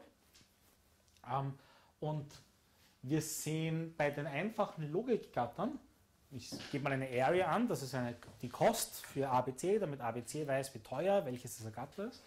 Ähm, und bei den Ausgängen gebe ich eben eine Function an. Und beim Buffer ist die Function A, das heißt, der Input A wird einfach an diesem Ausgangspin Y ausgegeben. Ähm, beim NotGutter ist es A invertiert, also in dem Fall heißt das einfache Anführungszeichen invertiert. Kann ja nicht überall das gleiche heißen. Äh, NAND ist eben A und B negiert, A oder B negiert. Ja, und beim Flip-Flop sieht man dann, dass da ein bisschen schwieriger wird, was, äh, was man alles machen kann in diesem Liberty-File. Das fand ich ganz hervorragend, weil das ist der Teil, den ich habe implementieren müssen fürs DFF Litmap, weil für den ganzen Rest habe ich ja ABC, aber das Schwierigste habe ich machen müssen. ähm, da kann ich dann nämlich hier so ein eigenes Flip-Flop-Statement verwenden, indem ich zwei zusätzliche Namen definiere. Also wir sehen quasi hier, habe ich ein Pin A definiert und dann gibt es quasi bei Function, kann ich A als Ausdruck verwenden. Und hier habe ich bei meinem Q-Ausbrand von Flip-Flop, sage ich, die Function ist IQ. Und IQ ist definiert hier in den Flip-Flop und da sage ich, das ist ein Flip-Flop, das clocked ist auf den Eingang äh, C und ähm, Next State ist D. Das heißt, wenn, wenn der Clock-Event kommt, dann geht er hier auf den Next State und das könnte natürlich auch C invertiert sein oder was auch immer. Gut, also so schaut das aus und die echten Liberty Das sind aber Files. jetzt nicht die C und D von Pin C und D. Doch, Das sind die. das sind die. Genau. Also damit sage ich Ihnen quasi, was ist der Clock Pin und was ist der, der Dateneingang, Next State heißt es hier, von, von diesem Flip-Flop-Element, das quasi Teil von dieser Zelle innen drinnen die ist. Selektion von der Muxer? Ah, der kommt nicht vor. Es gibt keinen Muxer. Okay. Es ist eine reine CMOS Library, das heißt, wir müssen uns dann überlegen, wie wir die Muxe auf diese Dinge abbilden. Was macht das Clock gleich True? Also Clock True? Dass das ein Clock-Input ist, Ja, schon, aber was hat das für Auswirkungen? dass ich es hier verwenden kann. es, es ist nicht mein Format, es ist ein furchtbares Format. Also was du hier siehst, ist der schöne Teil davon. Also das allermeiste von dem Format äh, ist, ist, ist, beschäftigt sich nicht mit den Dingen, die ich hier auswerte, sondern mit Sachen wie Drive Strength von irgendwelchen Pins, was die Kapazität an Eingangspins ist, was die Propagation Timings sind und so weiter und so fort. Und das habe ich hier alles rausgenommen, das interessiert uns jetzt nicht. Ja, ja, genau. Das regelt das selber schon? Hm? Das regelt das Tool schon? Oder? Das äh, äh, Josus macht damit überhaupt nichts, aber ABC kann es verwenden. Okay. Das heißt, es, äh, man muss ein bisschen herumbasteln, wenn man sehr schnelle Designs hat, bei denen das Flip-Flop-Verhalten selber schon wesentlich ist, weil ich beim ABC, das ABC kann die Flip-Flops nicht, das kann nur die Logik-Dinger, dem sage ich quasi generell, was die Drive Strength ist von jedem Input von meinem Netzwerk, also von jedem Flip-Flop-Ausgang und was die Capacitive Load ist an jedem Ausgang vom Netzwerk, also jedem Flip-Flop-Eingang. Und wenn ich aber jetzt unterschiedliche Flip-Flop-Typen verwende und so, dann, dann, dann habe ich Probleme, dann kann ich das nicht vollständig abbilden. Solange ich sehr lange Logikpfade habe, sodass die Eigenschaften von den Eingang- und Ausgang der Pfade nicht dominierend sind im Timing, kann ich sagen, dass es quasi supportet. Aber nicht von mir, sondern von ABC. Gut, äh, das heißt, jetzt möchte ich das zusammensetzen, das Beispielskript, das ich hergezeigt habe, und äh, äh, das Verilog-File und äh, die Liberty und einfach schauen, was passiert mit dem Design, wenn ich jetzt dieses Syntheseskript der Reihe nach durchgehe. Ähm, und hier sehen wir das Bild, das das Show-Kommando aus Josus ausgibt, wenn ich es ausführe, nachdem ich nur das Counter-Verilog-File lese und dann dieses Hierarchiekommando ausführe. In dem Fall macht das Hierarchiekommando überhaupt nichts. Ich habe es nur da dazu geschrieben, weil man quasi generell die Design-Hierarchie analysieren sollte, bevor man anfängt zu synthetisieren. Aber es gibt immer wieder so Fälle, wo man es gar nicht bräuchte. Und wir sehen, dass es hier sehr einfach. Ich habe eine Eiderzelle und ich habe einen Prozess. Und die Eiderzelle ist das hier, das ist der einzige Operator, den ich hier habe. Und alles andere ist Multiplexer als Teil von If-Else-Konstruktionen. Und das Flip-Flop, was irgendwie durch dieses Always at Post Edge Clock formuliert wird, das ist quasi alles noch versteckt in, in diesem Knoten hier in meinem Netzwerk. So, und dann mache ich diesen Befehl hier, proc opt fsm opt memory opt. Und das ist in dem Fall natürlich nichts anderes als proc opt, weil ich habe keine State Machines da drinnen, ich habe keine Memories da drinnen. Das heißt, FSM macht nichts und dann ist eben das opt auch ein No-Opt und das, mein, das macht nichts und das opt ist wieder ein No-Opt. Genau, das opt ist ein No-Opt. und dann bin ich eben bei dem Bild, wo man vorher schon war, wo man zumindest bei diesem kleinen Design irgendwie sehen kann, wie das zusammenhängt mit, äh, mit dem ursprünglichen Verilog Input. Das ist übrigens etwas, was ich jetzt auch immer wieder Leuten empfehle, die sagen, wie funktioniert das eigentlich bei Verilog? Wie hat dieser Code mit der Schaltung zu tun, dass man einfach mit Josus sich diese Bildchen anzeigen lässt für triviale Beispiele. Und das ist super, weil Josus ist urschnell dabei, kleine Dinge zu übersetzen. Also da, also das kann man natürlich auch in einem äh, Xilinx Vivado zum Beispiel, das man auch gratis zum das runterladen kann. Ähm, aber die Zyklen sind halt doch deutlich länger, eben weil es seine Lizenz checken muss und so, als das beim Josus ist. Die Grafiken spuckt das Jose selber aus, oder wie? Einfach Dot-File schreiben? Genau, Josus schreibt den Dot-File ähm, und hat äh, bei Josus 0.3 noch ein eigenes Kommando namens Josus-svg-view gestartet, um die Bilder anzuzeigen. Äh, und jetzt verwendet es Xdot. Ähm, und Xdot ist cool, weil ich bei Xdot nämlich ähm, über einen Knoten fahren kann mit der Maus und dann wird äh, über eine Kante und dann wird die rot und ich kann auf dieses Ende hier klicken und dann geht er zu dem Ende hier, also der Append. Und das ist genial, wenn ich einen riesigen Schaltplan habe mit tausend dieser Zellen und ich zoome dahin und ich sage, ah, aber wo geht es weiter? Und ich kann da draufklicken und dann zoomt er darüber. Also das hat mich dann quasi überzeugt, meinen eigenen SVG-Viewer wegzuwerfen ähm, und äh, einfach Xdot zu verwenden. Wenn du viel mehr Knoten wie sowas hast in einer Erfahrung jetzt, Ja. Sagen, Ja. Ähm. Genau. Ein Problem mit Graphviz ist halt, dass Graphviz, äh, also insbesondere Dot, dazu tendiert, so tangential berührende Splines zu machen. Und in dem Fall ist es wurscht, weil das die gleiche Quelle ist, aber es gibt viele andere, wo man dann quasi sagt, okay, da gehen zwei rein, da gehen zwei raus und ich weiß nicht, überschneiden die sich oder biegen sie so ab? Ähm, es gibt Wenn es rot wird für eine, dann ist es. Genau. Und da x-Dot ganz einfach, ich fahre mit der Maus. Ansonsten kann ich auch sagen minus Colors 1 beim Show-Kommando äh, von Josus. Dann macht er zufällige Farben. Und ich kann natürlich auch sagen minus Colors 2 oder minus Colors 23, weil das ist ein RNG-Seed, mit dem er dann. und oft ist es so, ich, kann, ich weiß nicht, was es ist, und sagt minus Colors 1. Super, jetzt sind sie beide gelb. Minus Colors 2. Darum. Also gleich 23. Nein, es ist nicht, es ist nicht größer besser. Also es ist, So, ja. es ist nur ein Seed. wenn, wenn du Pech hast. Genau. Gut. Äh, aber was wir hier haben, ist, wir haben machen TechMap und dann noch einmal ein Opt. In dem Fall macht das Opt was. Und jetzt sehen wir diese Netzliste von logischen äh, Gattern.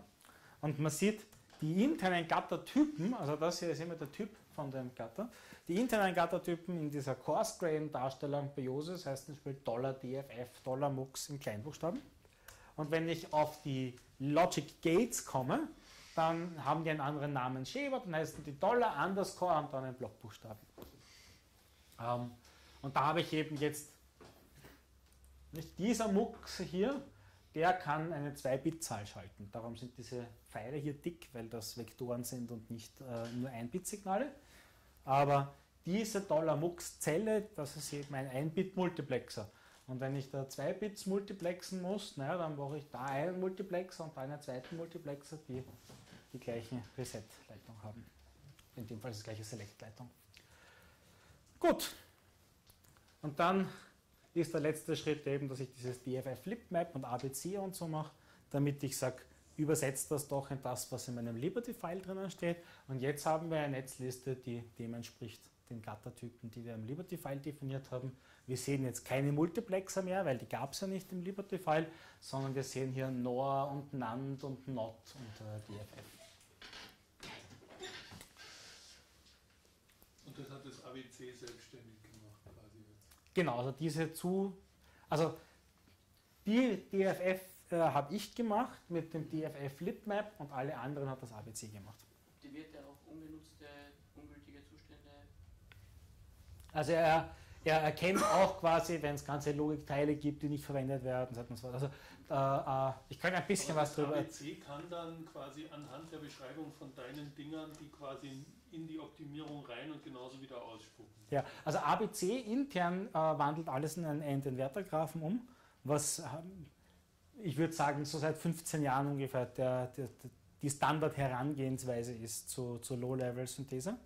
äh, und versuche dann den Endinvertergraphen wieder auf, äh, auf die Gattertypen zu matchen. Das heißt, ich gebe dem ABC eigentlich zwei Arten von Gattern mit in gewisser Weise. Ich sage ihm, was sind die Eingangsgatter, was sind, nein, das stimmt nicht ich die Eingangsgatter schon vorübersetze, in etwas, was das ABC versteht. Aber das ABC liest jedenfalls dann das Liberty-File und schaut, wie es den Endinvertergraphen darauf umbasteln kann und macht vorher noch einige Optimierungen im Endinvertergraphen. Man kann noch zum Beispiel nur ABC aufrufen, also nur das Josus-Kommando ABC. Das ruft dann auch dahinter ABC auf, aber macht nur Logikoptimierung und macht kein Abbilden auf irgendwelche anderen äh, äh, Libraries, weil ich habe mir keine Library mitgegeben. So.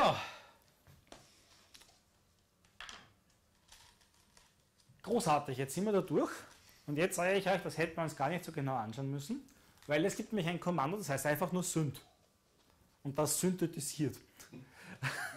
Und das macht fast alles von dem, was wir jetzt gemacht haben, plus eine ganze Menge mehr. Hier, da gibt es V-Reduce, Alumac, Share, haben wir nie gehört. Ja? Also ja, er macht da noch eine ganze Menge andere äh, ganz, ganz aufregende Dinge, wenn ich einfach mit Synt übersetze, aber die Grundidee ist die gleiche. Dass Kommt ich, das gleiche raus in dem Fall? in dem Fall könnte es sein. Also Im allgemeinen Fall sicher nicht. im allgemeinen Fall nicht, in dem Fall, ähm, in dem Fall ist das ein Om- No-Map, das ist äh, wahrscheinlich kommt das gleiche raus, ja. Also es ist, es könnte sein, dass hier, wir sehen am Schluss macht er hier beim Synth-Kommando einfach nur abc-fast und noch ein opt-fast.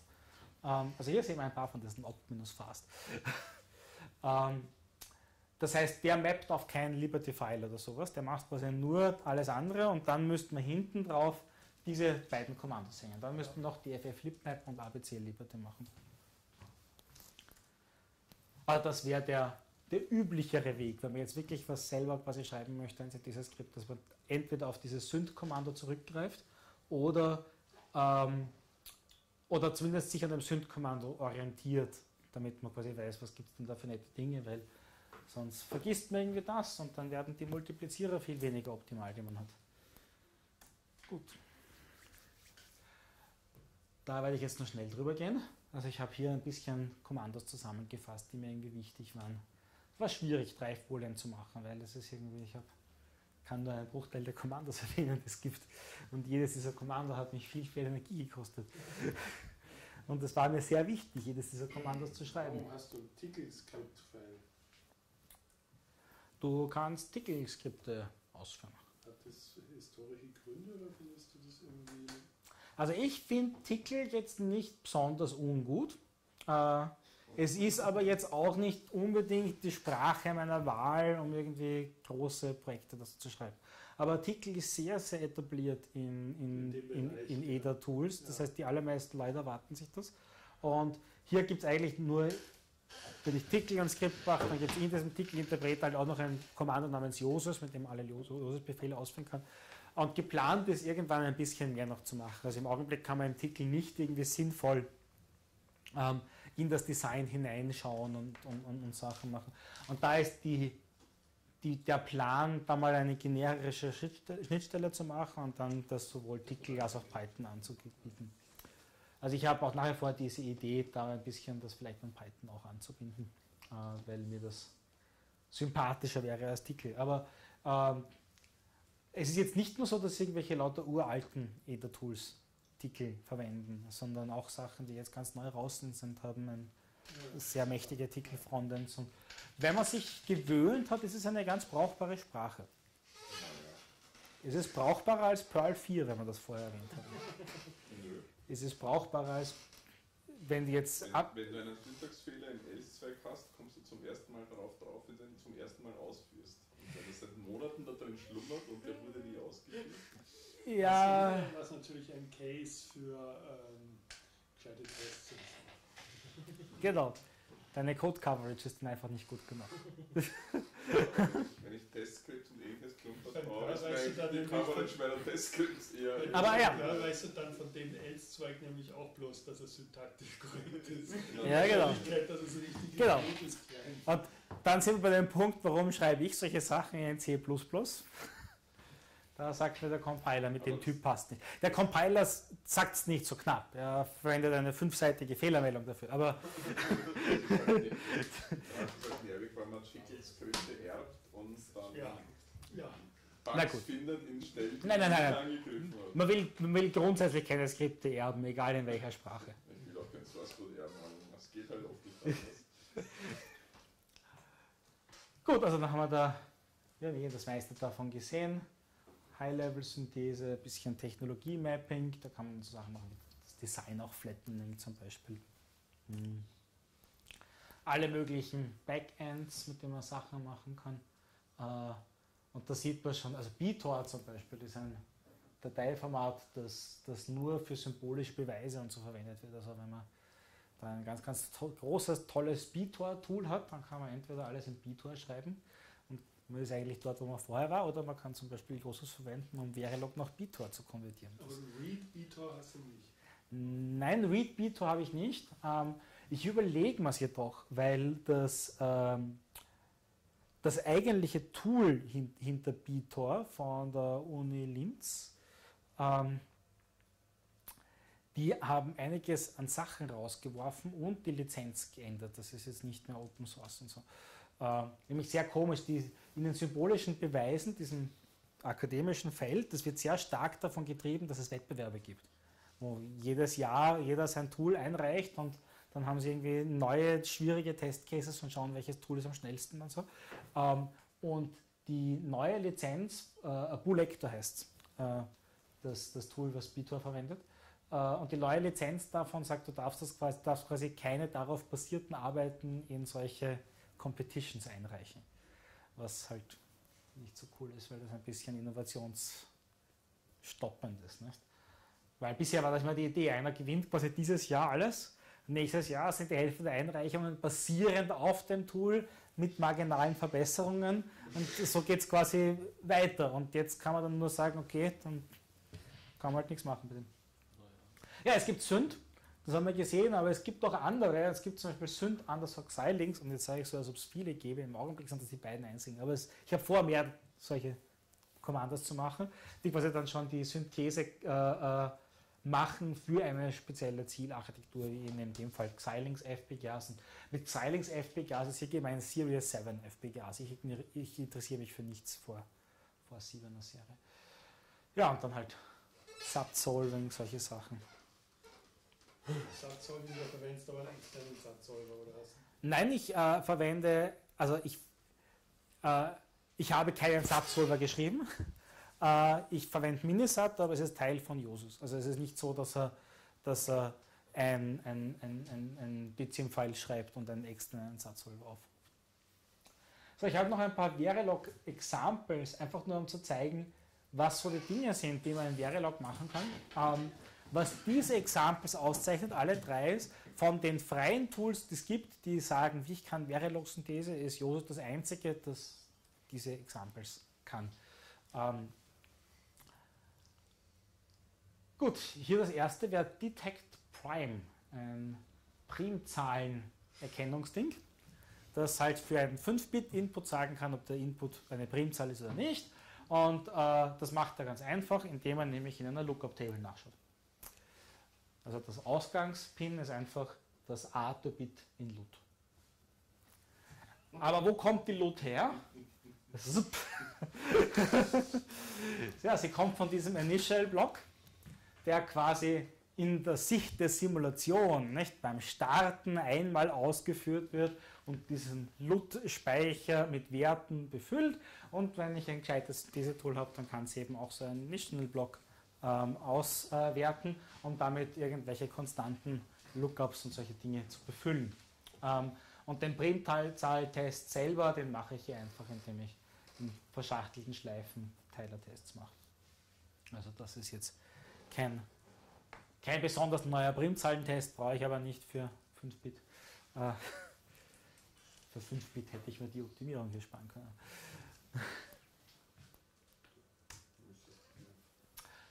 So, anderes Beispiel. Das ist jetzt auch ein Beispiel, wo ich Schleifen habe, aber ich verwende diesen Generate-Blöcke. Und Generate ist eben so ein, äh, aus, aus Verilog so eine Art Präprozessor-Funktionalität. ähm, wo ich eben mit einer Generator-Variable deklarieren kann. Die heißt CI, eine Zählervariable. Dann mache ich einen Generate-Block und innerhalb vom Generate-Block stehen jetzt Sachen wie for und if und so, also klassische Ablaufsteuerungen. Das wird aber beim Lesen von Verilog-File quasi alles ausgeführt und diese Schleife, wenn die iteriert, dann wird quasi der Block, der da drinnen ist, mehrfach instanziert. Und für jede der Instanzen ist das innere i hier die entsprechende Konstante. Und in dem Fall baue ich eben einen Ripple Carry Adder ähm, und ich baue diesen Ripple Carry Adder, indem ich hier quasi äh, so einen Stage-Block habe. In der synthetisierten Design heißt er dann Stage, eckige Klammer auf 0, eckige Klammer zu. Punkt in 1 zum Beispiel. So heißen diese Variablen dann. Und das, was in eckigen Klammern ist, ist eben dieser, diese Indexvariable. Und äh, ja, äh, man sieht, ich kann dann auch so Sachen machen, wie hier greife ich zum Beispiel auf die vorhergehende Stage zu. Und ich dann sage hier Stage i-1 und der hierarchische Namenslookup im Verilog schaut dann quasi, gibt es in meiner aktuellen Ebene was? Nein, wenn nicht, schaue ich eine weitere Ebene drauf. Ja, dort gibt es ein Stage, dann schaue ich in das entsprechende Element hinein und so weiter und so fort. Ähm, ja, also das ist eine Art, wie man Addierer bauen kann. Ich empfehle nicht so Addierer zu bauen, aber es ist. Was sind die einfachsten und kleinsten? Ähm, Nein, ich habe eher gemeint, ich empfehle quasi das Pluszeichen zu verwenden, wenn Addierer zu bauen in Verilog und nicht. ähm, aber ja, er wird. Im einfachsten Fall sowas raus, oder? Da kommt im einfachsten Fall sowas raus, aber du musst, äh, du musst dich bemühen, dass sowas rauskommt, weil normalerweise macht er eine äh, Carry Lookup. Was, was passiert in Stage 0? Ähm, Das ist ein halber Tier. Genau, also der Stage 0 ist ein halber Addierer, weil ich da nur in 1 und in 2 habe. Und die anderen Stages sind voller Addierer und da hole ich mir dann das Carry vom vorhergehenden Stage. Okay. Gut. Also, wenn man Verilog Code aus den 90ern sich anschaut, der schaut so aus. Das sind eben die, oh, da haben wir jetzt händisch zuerst die Testbench gemacht und dann schreiben für jedes Modul ein Replacement-Modul, Modul, in dem wir explizit Gatter instanzieren und äh, ja. So, was haben wir hier? Ein Content Addressable Memory. Furchtbar. Äh, ähm, also ich glaube, das Interessanteste hier ist eigentlich, dass wir ein Memory haben. Content Addressable oder nicht, ist ihnen wurscht. Äh, und Memories deklariert man Verilog eben so, dass man, also sagt man Rec und dann die Bitbreite und den Identifier. Und wenn ich hinten drauf noch einen Bereich angebe, dann ist das quasi die Array-Dimension. Also wir haben jetzt Depth-Elemente, die ich einzeln adressieren kann. Jedes davon ist Width breit. Und der Null ist einmal rechts und einmal links. Hm? Null ist einmal rechts. Ah, ja, ja, das ist Konvention. Ähm, in, hier macht es tatsächlich einen Unterschied, wie rum du schreibst. Das geht quasi raus. Also es macht praktisch keinen Unterschied für den Rest eines Codes, aber, äh, aber die Frage ist quasi, wenn ich 0 sage, meine ich damit das Least Significant Bit oder das Most Significant Bit. Und in dem Fall meine ich dann das Least Significant Bit. Und darum wird das praktisch immer so geschrieben, dass ich von hoch nach niedrig ziele, weil meistens möchte ich mit 0 das Least Significant Bit adressieren. Ähm, Und beim gibt es das gleiche Spiel. und hier hinten ist es wurscht. Da ist nur quasi die, das Intervall wichtig, aber es ist wurscht, ob ich quasi von klein nach groß oder groß nach klein. Und interessanterweise ist es hier üblich, und ich habe nicht herausgefunden, warum von klein nach groß zu schreiben. Aber wenn du es rumdrehst, exakt das gleiche Verhalten. Also, damit kann man nicht den Unterschied zwischen Little und Big implementieren. Nein. Ähm, inzwischen kann, kann Josus auch mehrdimensionale Arrays. Das war eins der Verilog 2005 Features, die ich erst relativ spät unterstützt habe. Ähm, ich empfehle aber nicht, mehrdimensionale Arrays zu verwenden in der formalen Verifikation, weil formal, na, nein, da- das auch, aber formal, wenn ich quasi irgendeine der Array Dimension out of bounds bin, dann äh, kriege ich ein, äh, ein x-Bit zurück, ein undefined. Aber bei der Art und Weise, wie ich die so, höheren Array Dimensions mache, mache ich quasi den entsprechenden, die entsprechenden Adressberechnung und am Schluss ist es ein großes Array und wenn ich quasi eine innere Array Dimension rüberlaufe, dann wandere ich quasi an eine andere Speicherstelle. Was genau das ist, was ich bei Synthese erwarte. Also bei Synthese gibt es da quasi kein, kein, nichts zu kritisieren. Aber wenn ich formale Verifikation mache, dann will ich, dass dort ein X-Bit, ein Undefined Bit rauskommt und nicht, ich kann nicht darauf verlassen, dass wenn ich in der Array Dimension überlaufe, dass ich dann auf diesem anderen Element des Speichers lande. Ja. So. Ja. Ja, also ich habe Vloghammer ist ein Tool, das ich geschrieben habe, mit dem ich Bugs in Verilog-Tools finden kann. Ich habe viele Bugs in Josus gefunden und viele Bugs in anderen Tools.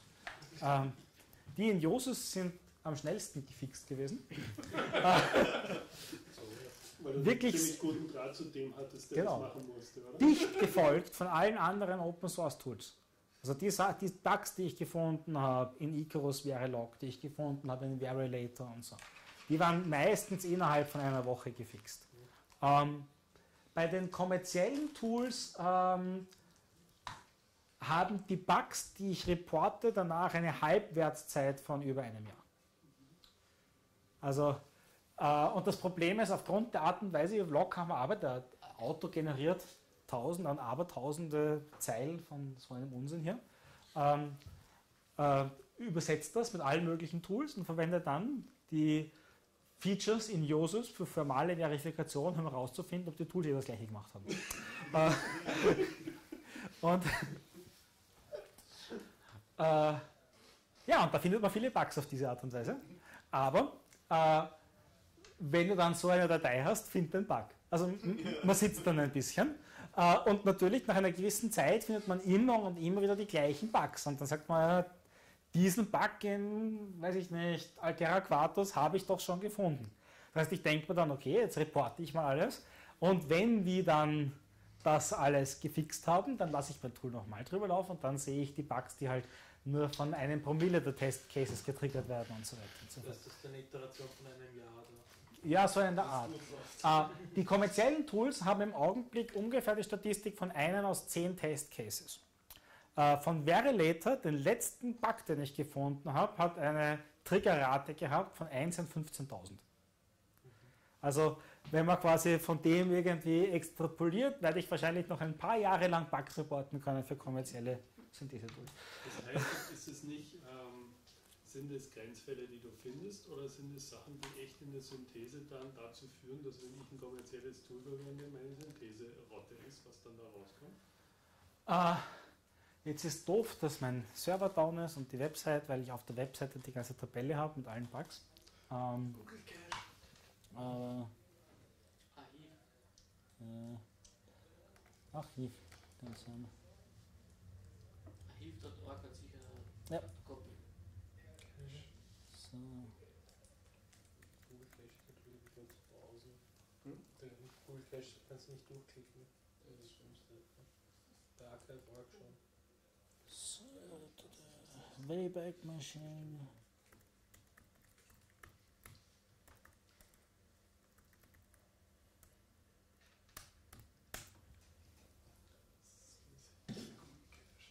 Bin ich gespannt.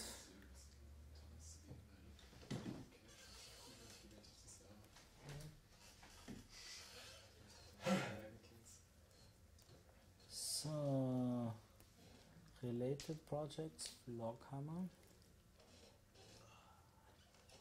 Haha, Naja, genau. das hat er nicht. Latest. Google vielleicht? Latest. Probieren wir Latest. Okay. So. Ah. Aber. Ja. Nein. Kein Google Cache ist hier drinnen. Da müsst ihr auch, weil es Teil von dem gleichen Repository ist. Ja, perfekt. So. Schneller. So. Also da zeige ich dann Bug-Reports, die so ausschauen, nachdem ich quasi die Bugs gefunden habe. Ähm, was, was haben wir hier? Ein Tippfehler, äquivalent. Zweite Äh, Zeile, wo, wo ist das Ja, Was- erstes Wort. ja, Equi, das, ist- das ist falsch schon. Wurscht. Gut. Also, was, äh, äh,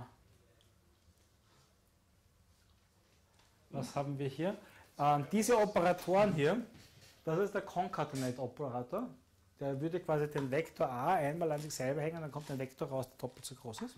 Ähm, und das ist der Replicate Operator. Das heißt, in dem Fall machen die beiden das Gleiche. Und beide sind so spezifiziert, dass das Ergebnis unsigned sein muss. Und bei XST ist es offenbar so, dass wenn ich den Replicate Operator auf einen Ausdruck verwende, der signed ist, ist das Ergebnis trotzdem signed. Das ist, äh, ich glaube, das ist äh, se- sehr gut repräsentativ für die Art von Bugs, die ich finde. Das sind Bugs, die wahrscheinlich die allermeisten Leute beim Schreiben von Code sowieso vermeiden, weil sie selber den Standard nicht gut genug wissen, um herauszufinden und sagen zu können, was passieren wird. Das Problem, das ich hier sehe, das wird dann oft als Argument angeführt, was budel ich mich so auf, das sind eh nur irgendwelche ganz, ganz esoterischen Spezialfälle. Das Problem ist, dass wir jetzt immer mehr HDL-Code haben, der von Programmen erzeugt wurde. erzeugt ist. Genau. Und wenn ich, im Mat wenn ich jemanden sitzen habe, der sagt, ich bin jetzt auch ein FPGA-Designer, weil er im MATLAB einen Button drücken kann, der eben den Filter erzeugt. Und dann geht das nicht, wegen sowas. Das schaue ich mir an, dass der den Bug findet. Und darum bin ich da sehr dahinter und natürlich auch damit äh, Joses eine bessere. So im, Ist der so für die Gruppe? Dass Menschen nicht programmieren lernen. Hm? Für die erste sein. Äh, gell? Obwohl sie es sich eine lange Zeit vornehmen. Ma- Manche Bugs sind auch in Wirklichkeit, das ist dann nur das Symptom für ganz anderes Gebrechen, das man dann tunlichst über, überall fixen sollte. Ja, also. Das war Ähm, vielleicht nicht, was wir gerade gehabt haben. Die RTFM-Bugs. so. Nein, aber sie den gleichen Ja. Signed, Unsigned im Müll noch im Source oder in der Implementierung Mhm. falsch gemacht haben. Ja, und halt extra. So. Dann gibt es da solche Sachen.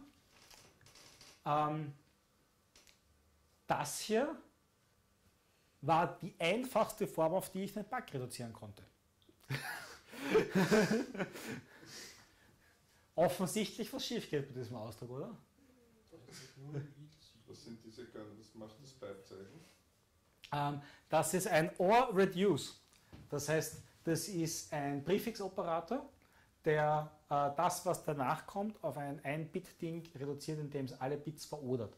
Und das hier ist eine 32-Bit-Konstante, bei der die unterste Bit 1 gesetzt ist. Das heißt, Pipe 1 ist die einfachste Möglichkeit, einen 1-Bit-Einser zu machen. Weil ansonsten müsst ihr schreiben 1, Anführungszeichen B1. Und das ist doppelt so schnell. Das. Das heißt, wenn ich quasi an einer Stelle bin, wo ich möchte, dass jetzt eine 1-Bit-Variable steht, weil ich weiß, wie Verilog mit mehr, mit größeren Vektoren umgeht und so. Und also ich habe festgestellt, dass ich anderen Verilog-Code schreibe, seitdem ich das blöde Tool geschrieben habe, weil ich auf einmal diese ganzen Details kenne und sage, ah, und wenn ich das Tool an der Stelle dazu zwinge, das als 1-Bit-Variable zu betrachten, dann wird dieser Ausdruck klein. Ah, okay. Dasselbe wie vorher. Äh. Nein, da ist nichts, da ist nichts mit sein. Das ist alles Ansein. Nein, ähm, das Problem hier war, dass ich ähm, äh, Es wäre der Bug, wenn das 32-Bit auf einmal sein tut, das höchste Ding. Na, das Problem ist, dass der Riffig einen Bug gehabt hat bei der Implementierung vom X oder Reduce, wenn der Vektor der X oder reduziert wird, zweimal das gleiche Bit beinhaltet. Weil sie quasi bei jedem Bit, den sie verxodern, nachschauen, ist, der X ist das Bit schon im Set und wenn es äh, schon im Set drinnen ist, wird es durch das zweite Mal einfügen rausgenommen und da haben sie irgendeine Memory Corruption gehabt. fixen. Ähm, Verific ist äh, das, ist die Library, die hinter den allermeisten kommerziellen Synthese-Tools steht. Also ka kaum von welche von denen schreiben ihr eigenes Ding, sondern die lizenzieren Verific. Ansonsten, also das, jetzt habe ich halt einen Bug präsentiert, aber man hat gesehen, ich habe viele Bugs auch woanders gefunden. Die schlimmsten Bugs habe ich sowieso an Josef gefunden. Ähm, das ist eine Firma, die ein unglaublich komplexes Produkt macht und irgendwie 100 Kunden hat weltweit. Die Frage ist, ob du denen das nicht verkaufen solltest. Äh, ich, ich, ich bin mit ihnen in Kontakt, weil äh, woher finde ich diesen Bug? Ich habe eine Academic-Lizenz von der Library. Es gibt zwei Leute, die das haben, ich und der Maintainer von ABC. weil die sind so klein, die haben nicht ein Academic Program oder was auch immer, sondern ich habe ein Mail hingeschrieben und habe vom Vice President of Sales ein Mail zurückbekommen, ich soll ihn doch anrufen und wir reden. Sehr cool. Ja, sehr Ja, cool. Ja. Ja, aber das ist die übliche Strategie, das auf Academic herborgen, sag Ja. ich mal, und wenn die Leute in der Industrie sind, Geld machen. Das, was, ich, was ich interessant finde, ist, ich habe dann eine Woche später jemanden am Subreddit gehabt, also wir haben keine Mailingliste, wir haben ein Subreddit, ähm, habe dann jemanden am Subreddit gehabt, der von Verific war und gesagt hat, er versucht äh, zu evaluieren, wie gut die Codequalität ist von dem, was, was mein Tool erzeugt. Ähm, und das war natürlich spannend gewesen, da ein bisschen die Hintergründe zu, er hat Zu- dir zu- nichts, er hat- nichts er hat- er, er hat nichts verraten, ich habe auch nichts mehr gehört, also ich habe ihm einen Pointer gegeben quasi.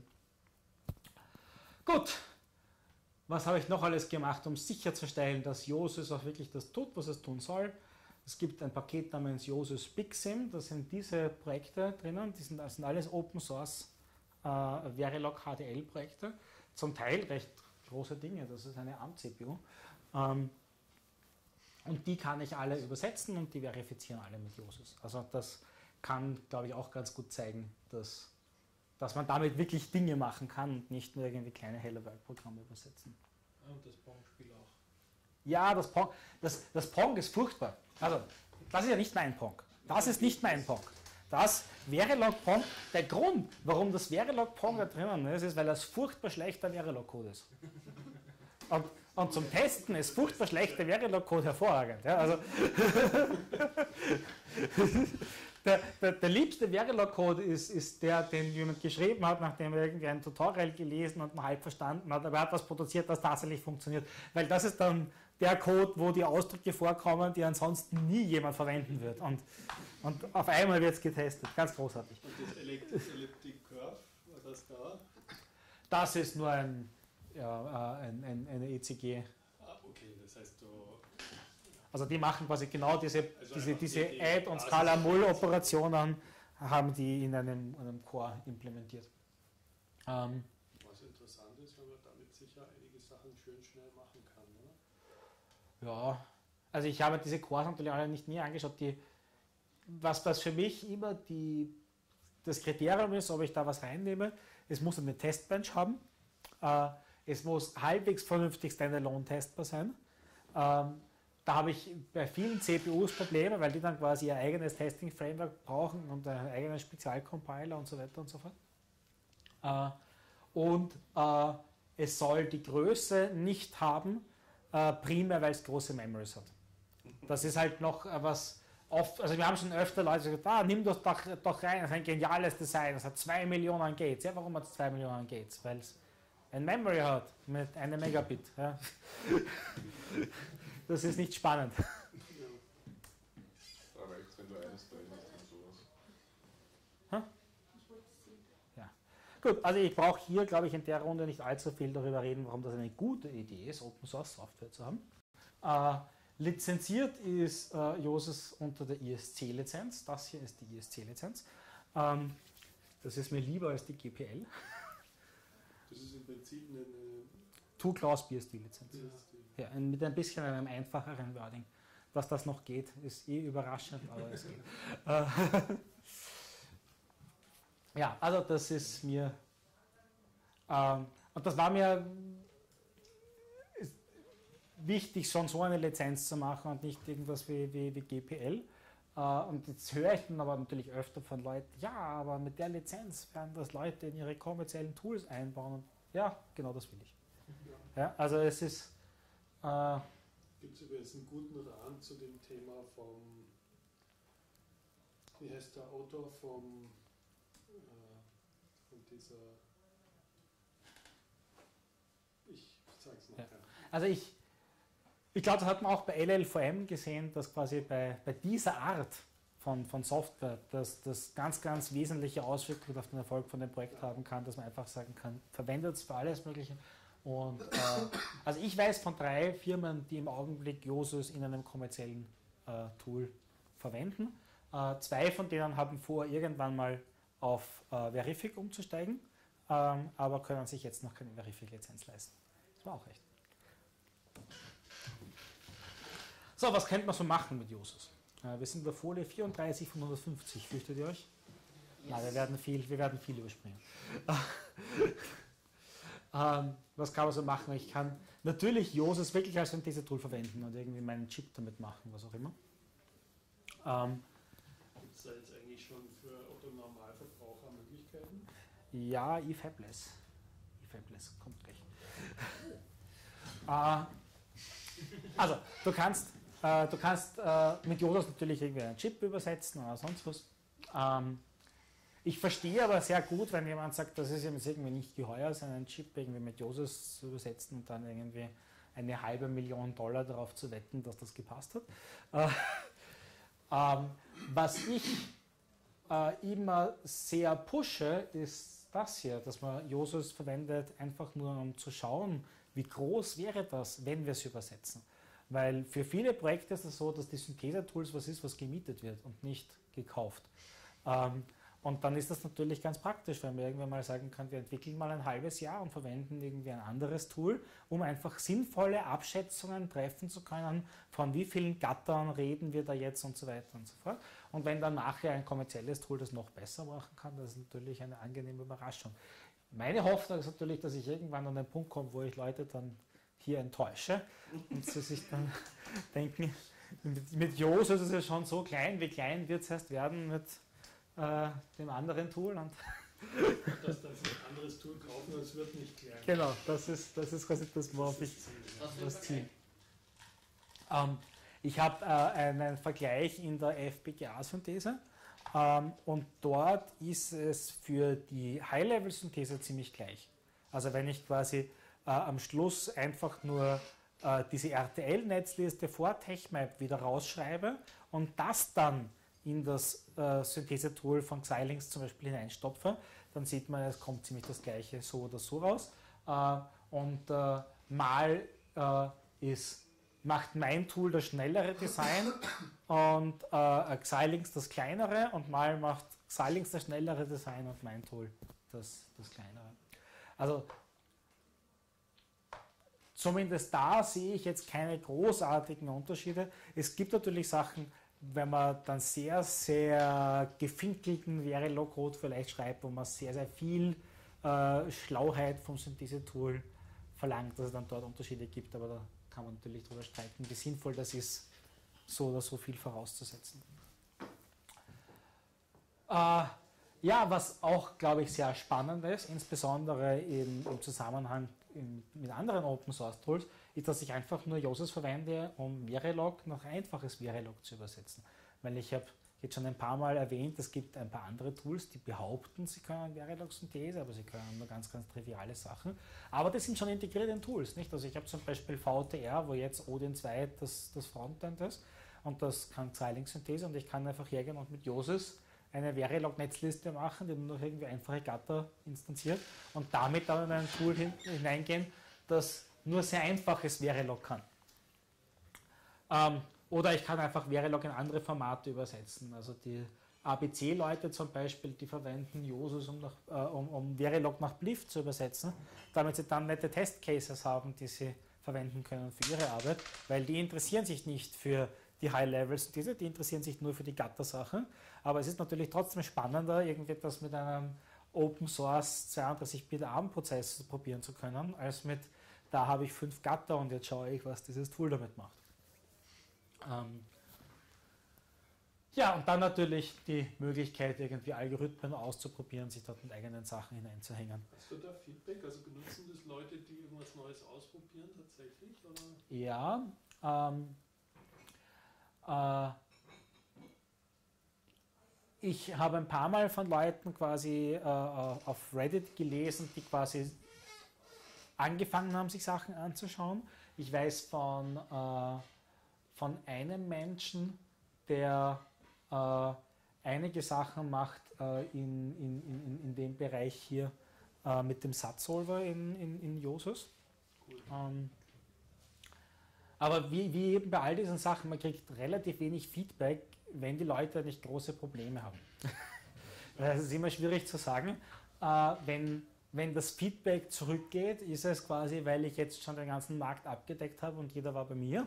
Oder ist es, weil Weil die Leute. funktioniert das Ja. Genau, weil die Leute melden sich, wenn sie Probleme haben. Dann zeigen sie auf und sagen, das geht nicht. Ja, bau halt wieder mal einen Bug ein. Das wird wahrscheinlich so ähnlich wie, wie äh, OpenSCAD, dass halt die ganze Welt OpenSCAD verwendet, das im Make ganz selbstverständlich ver- erwähnt Ja, ja, genau. das Tool, was Genau, also das-. Ja. Das, das, das, das wäre das Ziel, sowas, sowas zu machen. Äh, ich weiß nicht, wie realistisch es ist, weil die Zielgruppe doch kleiner ist als die Zielgruppe von OpenSCAD. ja, und weil halt die Zielgruppe deswegen noch so klein ist, weil die Prozesse Ja. halt so teuer?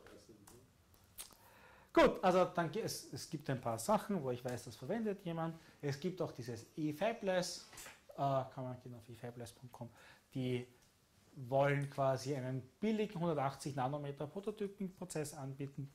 Ähm, und die sind draufgekommen, also die haben von dem, was ich gehört habe von ihnen, sie haben schon feste Vereinbarungen mit, mit Fabs und so, also von der Seite steht quasi alles. Aber dann sind sie draufgekommen, das nutzt irgendwie nichts, einen billigen Prototypen ASIC-Prozess zu haben, wenn du 150.000 Euro ausgeben musst für die Software, um den Chip zu designen, den du prototypen möchtest. Äh, äh, und darum sind die sehr interessiert an Josus. Ähm, und die bauen im Augenblick eine Web-IDE für Chip-Design. Sodass du dann quasi auf ihrer Seite das komplette Projekt im Webbrowser machen kannst. Also du hast natürlich vorher irgendwie mal geschaut, dass dein Verilog-Code funktioniert, hast es in einem FPGA ausprobiert und so weiter und so fort. Und dann gehst du auf die Website und verwendest dir ein Web-ASIC-Tool, um deinen Chip zu machen. Ha? Von was für Kosten redet man bei denen dann? Ich darf es nicht sagen. Aber wir können nachher reden, wenn die Kamera nicht läuft.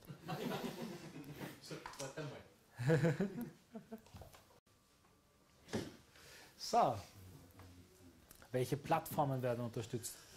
Ähm, also ich entwickle und Ubuntu oder Kubuntu, nicht, dass das irgendeinen Unterschied machen wird für das, was Jodas tut. Äh, ähm, unter, unter Ubuntu gibt es ein PPA, das heißt, man kann auch das einfach von dort installieren, ohne dass man das selbst übersetzen äh, muss. Ähm, ich glaube, EBC gibt es inzwischen in Debian. Ich weiß noch nicht, ob es, ich glaube, Josus aber auch. Es ist der gleiche Packet Maintainer. Ähm, Kannst du das von meinem Weg tun? Irgendwer Ja, ist Ja, das ist draußen. Das draußen. da schiebt jemand einen Tisch rum. Okay. Ähm, ja, generell, und äh, wenn man unter Linux übersetzen möchte, man braucht einen Compiler mit zumindest rudimentären C++11 Support. Ähm, das heißt, GCC ab 4.6 unterstütze ich oder einen aktuellen Klang. Ähm, und inzwischen gibt es auch macOS und OpenBSD-Ports und es gibt einen Windows 32-Port. Ursprünglich hat es geheißen, Windows 32-Port macht jemand anderes und dann war das halb fertig und dann habe ich mir ein Windows in einer Virtual Machine installiert. Äh, Ist es so aufwendig, das zu portieren? Der Code müsste ziemlich unabhängig Der, der Code ist sehr, sehr unabhängig, aber es waren zunächst mal einige Sachen vom Bildsystem. Es ist doch ein sehr, sehr großes Projekt und du willst irgendwie nicht irgendwie in Visual Studio mal eine Solution anlegen und dann irgendwie 100 Files einzeln hinzufügen und so. Das heißt, da gibt es inzwischen einen automatisierten Prozess. Du kannst unter Linux sagen, wenn du das für den Windows 32 Bild konfiguriert hast, make dist Win32 und dann macht er sowohl ein mit MXE Cross übersetztes Win32 Binary als auch ein ZIP-File mit den Visual Studio Sourcen. Mit, einem kompletten, mit einer kompletten Visual Studio Project und Solution. Ähm, und ja, gibt es auch auf der Website zum Bauen, wenn die Website wieder geht. Gut. Ähm, dann wollte ich noch ein paar andere Open Source Tools erwähnen. Im speziellen Icarus Verilog. Icarus Verilog ist ein Verilog-Simulator. Jetzt nicht unbedingt ein besonders schneller Simulator, was die Ausführungszeit angeht, aber ein besonders schneller Simulator, was die Übersetzungszeit angeht, weil die Ausführung nämlich ein Interpreter ist und der Übersetzer nur quasi das eine ASCII-File in ein kompakteres ASCII-File überführt. Ähm, und äh, ich persönlich muss sagen, ich mag das sehr an Icarus Verilog, weil ich nämlich selten System-Level-Sachen mache, sondern ich mache meistens irgendwelche kleinen Rechencores und so. Äh, und da ist es so, dass bei den meisten tollen, großen Tools die Übersetzungszeit viel, viel größer ist als die Ausführungszeit und da bin ich schneller mit Icarus Verilog. Ähm, dann erwähnenswert das Qflow, äh, das ist eben ein kompletter ASIC-Flow, äh, der unter anderem Josus verwendet. Äh, was ich irgendwie sehr nett finde, das ist jetzt nicht unbedingt besonders anwenderfreundlich, Qflow, das ist eine, ein bisschen ein Kraftwerk, sich da, da, da hinein zu, äh, zu lesen. Aber ich finde das großartig, einfach nur, dass es das gibt. Dass ich einen Chip machen kann, nur mit Open Source Tools. Ähm, und dann natürlich das, das ABC. Was da eigentlich noch dazu habe ich da. Was ist dann die Ausgabe? Welche Formate gibt Qflow dann aus? Äh, Qflow ähm, was macht, äh, macht äh, Def, äh, heißt das. Def ist wieder ein Standard von, äh, von Cadence. Ähm, und ist quasi eine, ein, ja, dann kann man das Def in GDS2 umwandeln. GDS2 ist das Standardformat, das an die Fabs geschickt werden. Also das ist ein Das ist dann schon Bitmaps, oder? GDS2 ist ein Vektorgeometrieformat. Also ursprünglich natürlich auch wieder ein Format, das für irgendeine Art von obskuren Fotoplotter gedacht war, wo er dann quasi mit Masken an Stellen fährt und mal ein, ein Viereck belichtet oder einen Kreisbogen oder was auch immer. Ähm, aber im Wesentlichen ist, ist es ein, ein, ein, hierarchisches Vektorzeichenformat. Hierarchisch, weil du sagen kannst, das ist meine Zelle und jetzt wird diese Zelle hier, hier, hier, hier und hier instanziert. Und das ist halt das Standardformat, auf das die Industrie sich geeinigt hat. Mhm. Also die Fabs wollen alle GDS2. Die wird irgendwann angefangen haben und jetzt haben so viel, dass sie Ja. Also im GDS2 macht man aber kaum was. Also die meisten Sachen macht man einen, einen Schritt davor in diesem Dev-Format.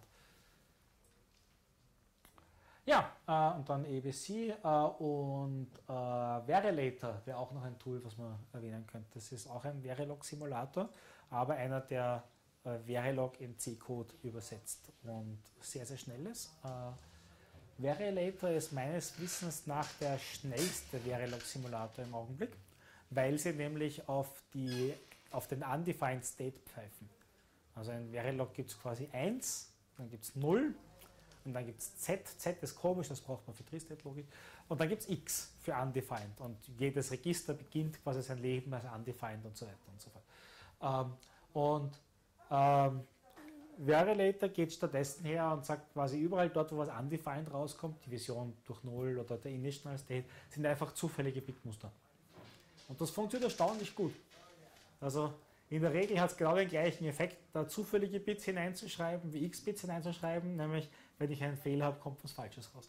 Äh, und damit sind sie halt irgendwie doppelt so schnell wie das, wie das schnellste kommerzielle Tool und sind auch sehr, sehr Die, die werden den Beliebt. C-Code ja, ja kompilieren und ausführen. Dann.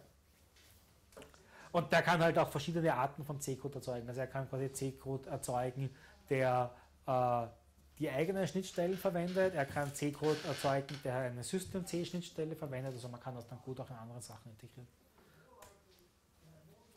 So. Ja, Josus needs you.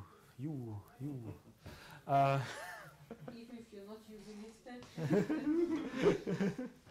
Ja, es ist Final Synthesis Tool. Also äh, generell versuche ich quasi Leute dazu zu bewegen, einfach Josus zu verwenden, auch wenn sie es nicht als das finale Tool verwenden. Einfach nur mal das eigene Design durch Josus auch durchschütten und schauen, was, was passiert. Vielleicht findet man einen Bug in Josus, dann freue ich mich, wenn man den reportet an mich.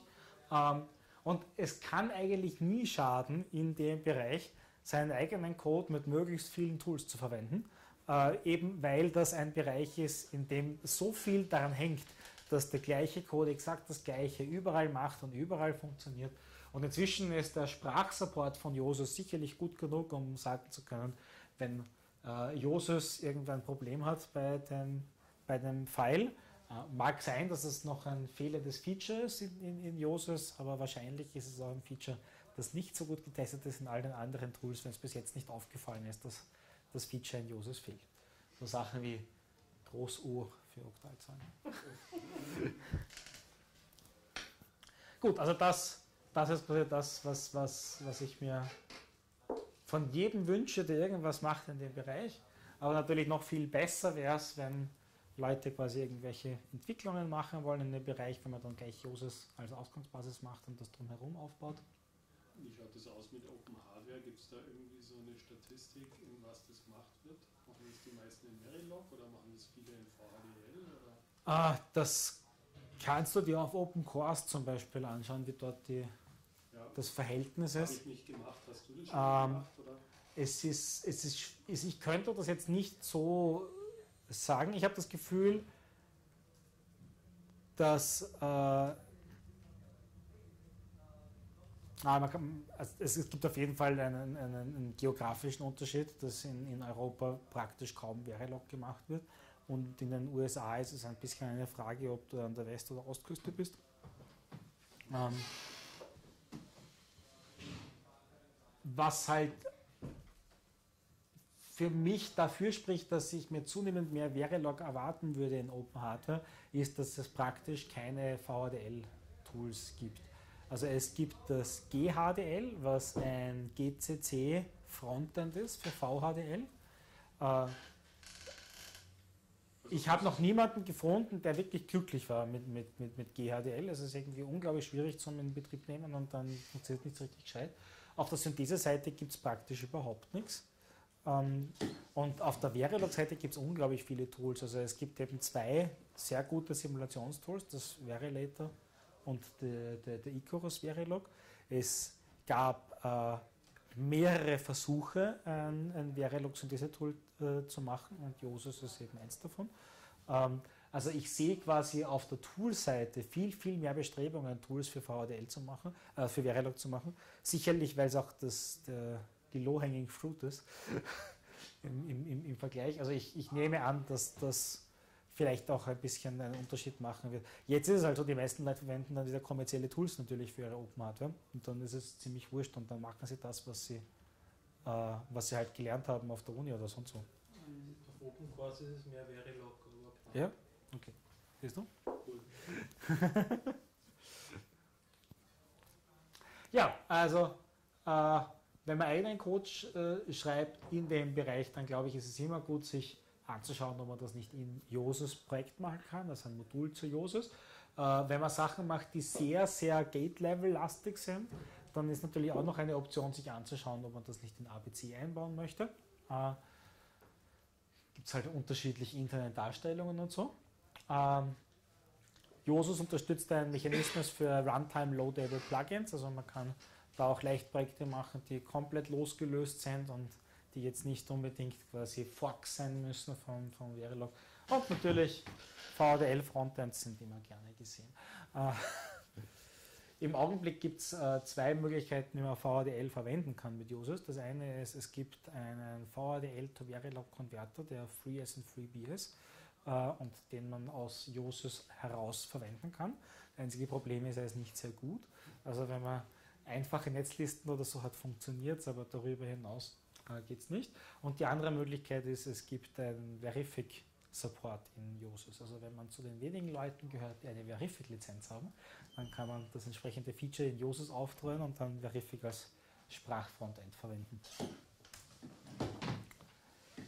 Der, der, der Konverter, der kann von der Sprache von VHDL nicht viel. Oder wie war das jetzt zu verstehen? Ähm, er kann von VHDL nicht unbedingt viel, aber vor allem äh, macht er manchmal komische Sachen, wenn der VHDL-Code ein bisschen komplizierter ist. Und das ist das Blödere, weil es dann einfach nicht funktioniert. Also es gibt inzwischen im, in diesem proc-Befehl gibt es auch einen dezidierten Workaround für ein Konstrukt, das so schwachsinnig ist, dass das niemand in der freien Wildbahn verwenden würde, aber dieser VHDL zu Verilog Converter spuckt, spuckt das regelmäßig aus. Gut, das war der grobe Überblick über das Projekt, äh, was ich so gemacht habe. Und ich würde sagen, wir machen jetzt eine Pause von, weiß ich nicht, 10 Minuten, Viertelstunde oder so. Und dann werden wir selektiv über die verbleibenden ähm, 110 Slides.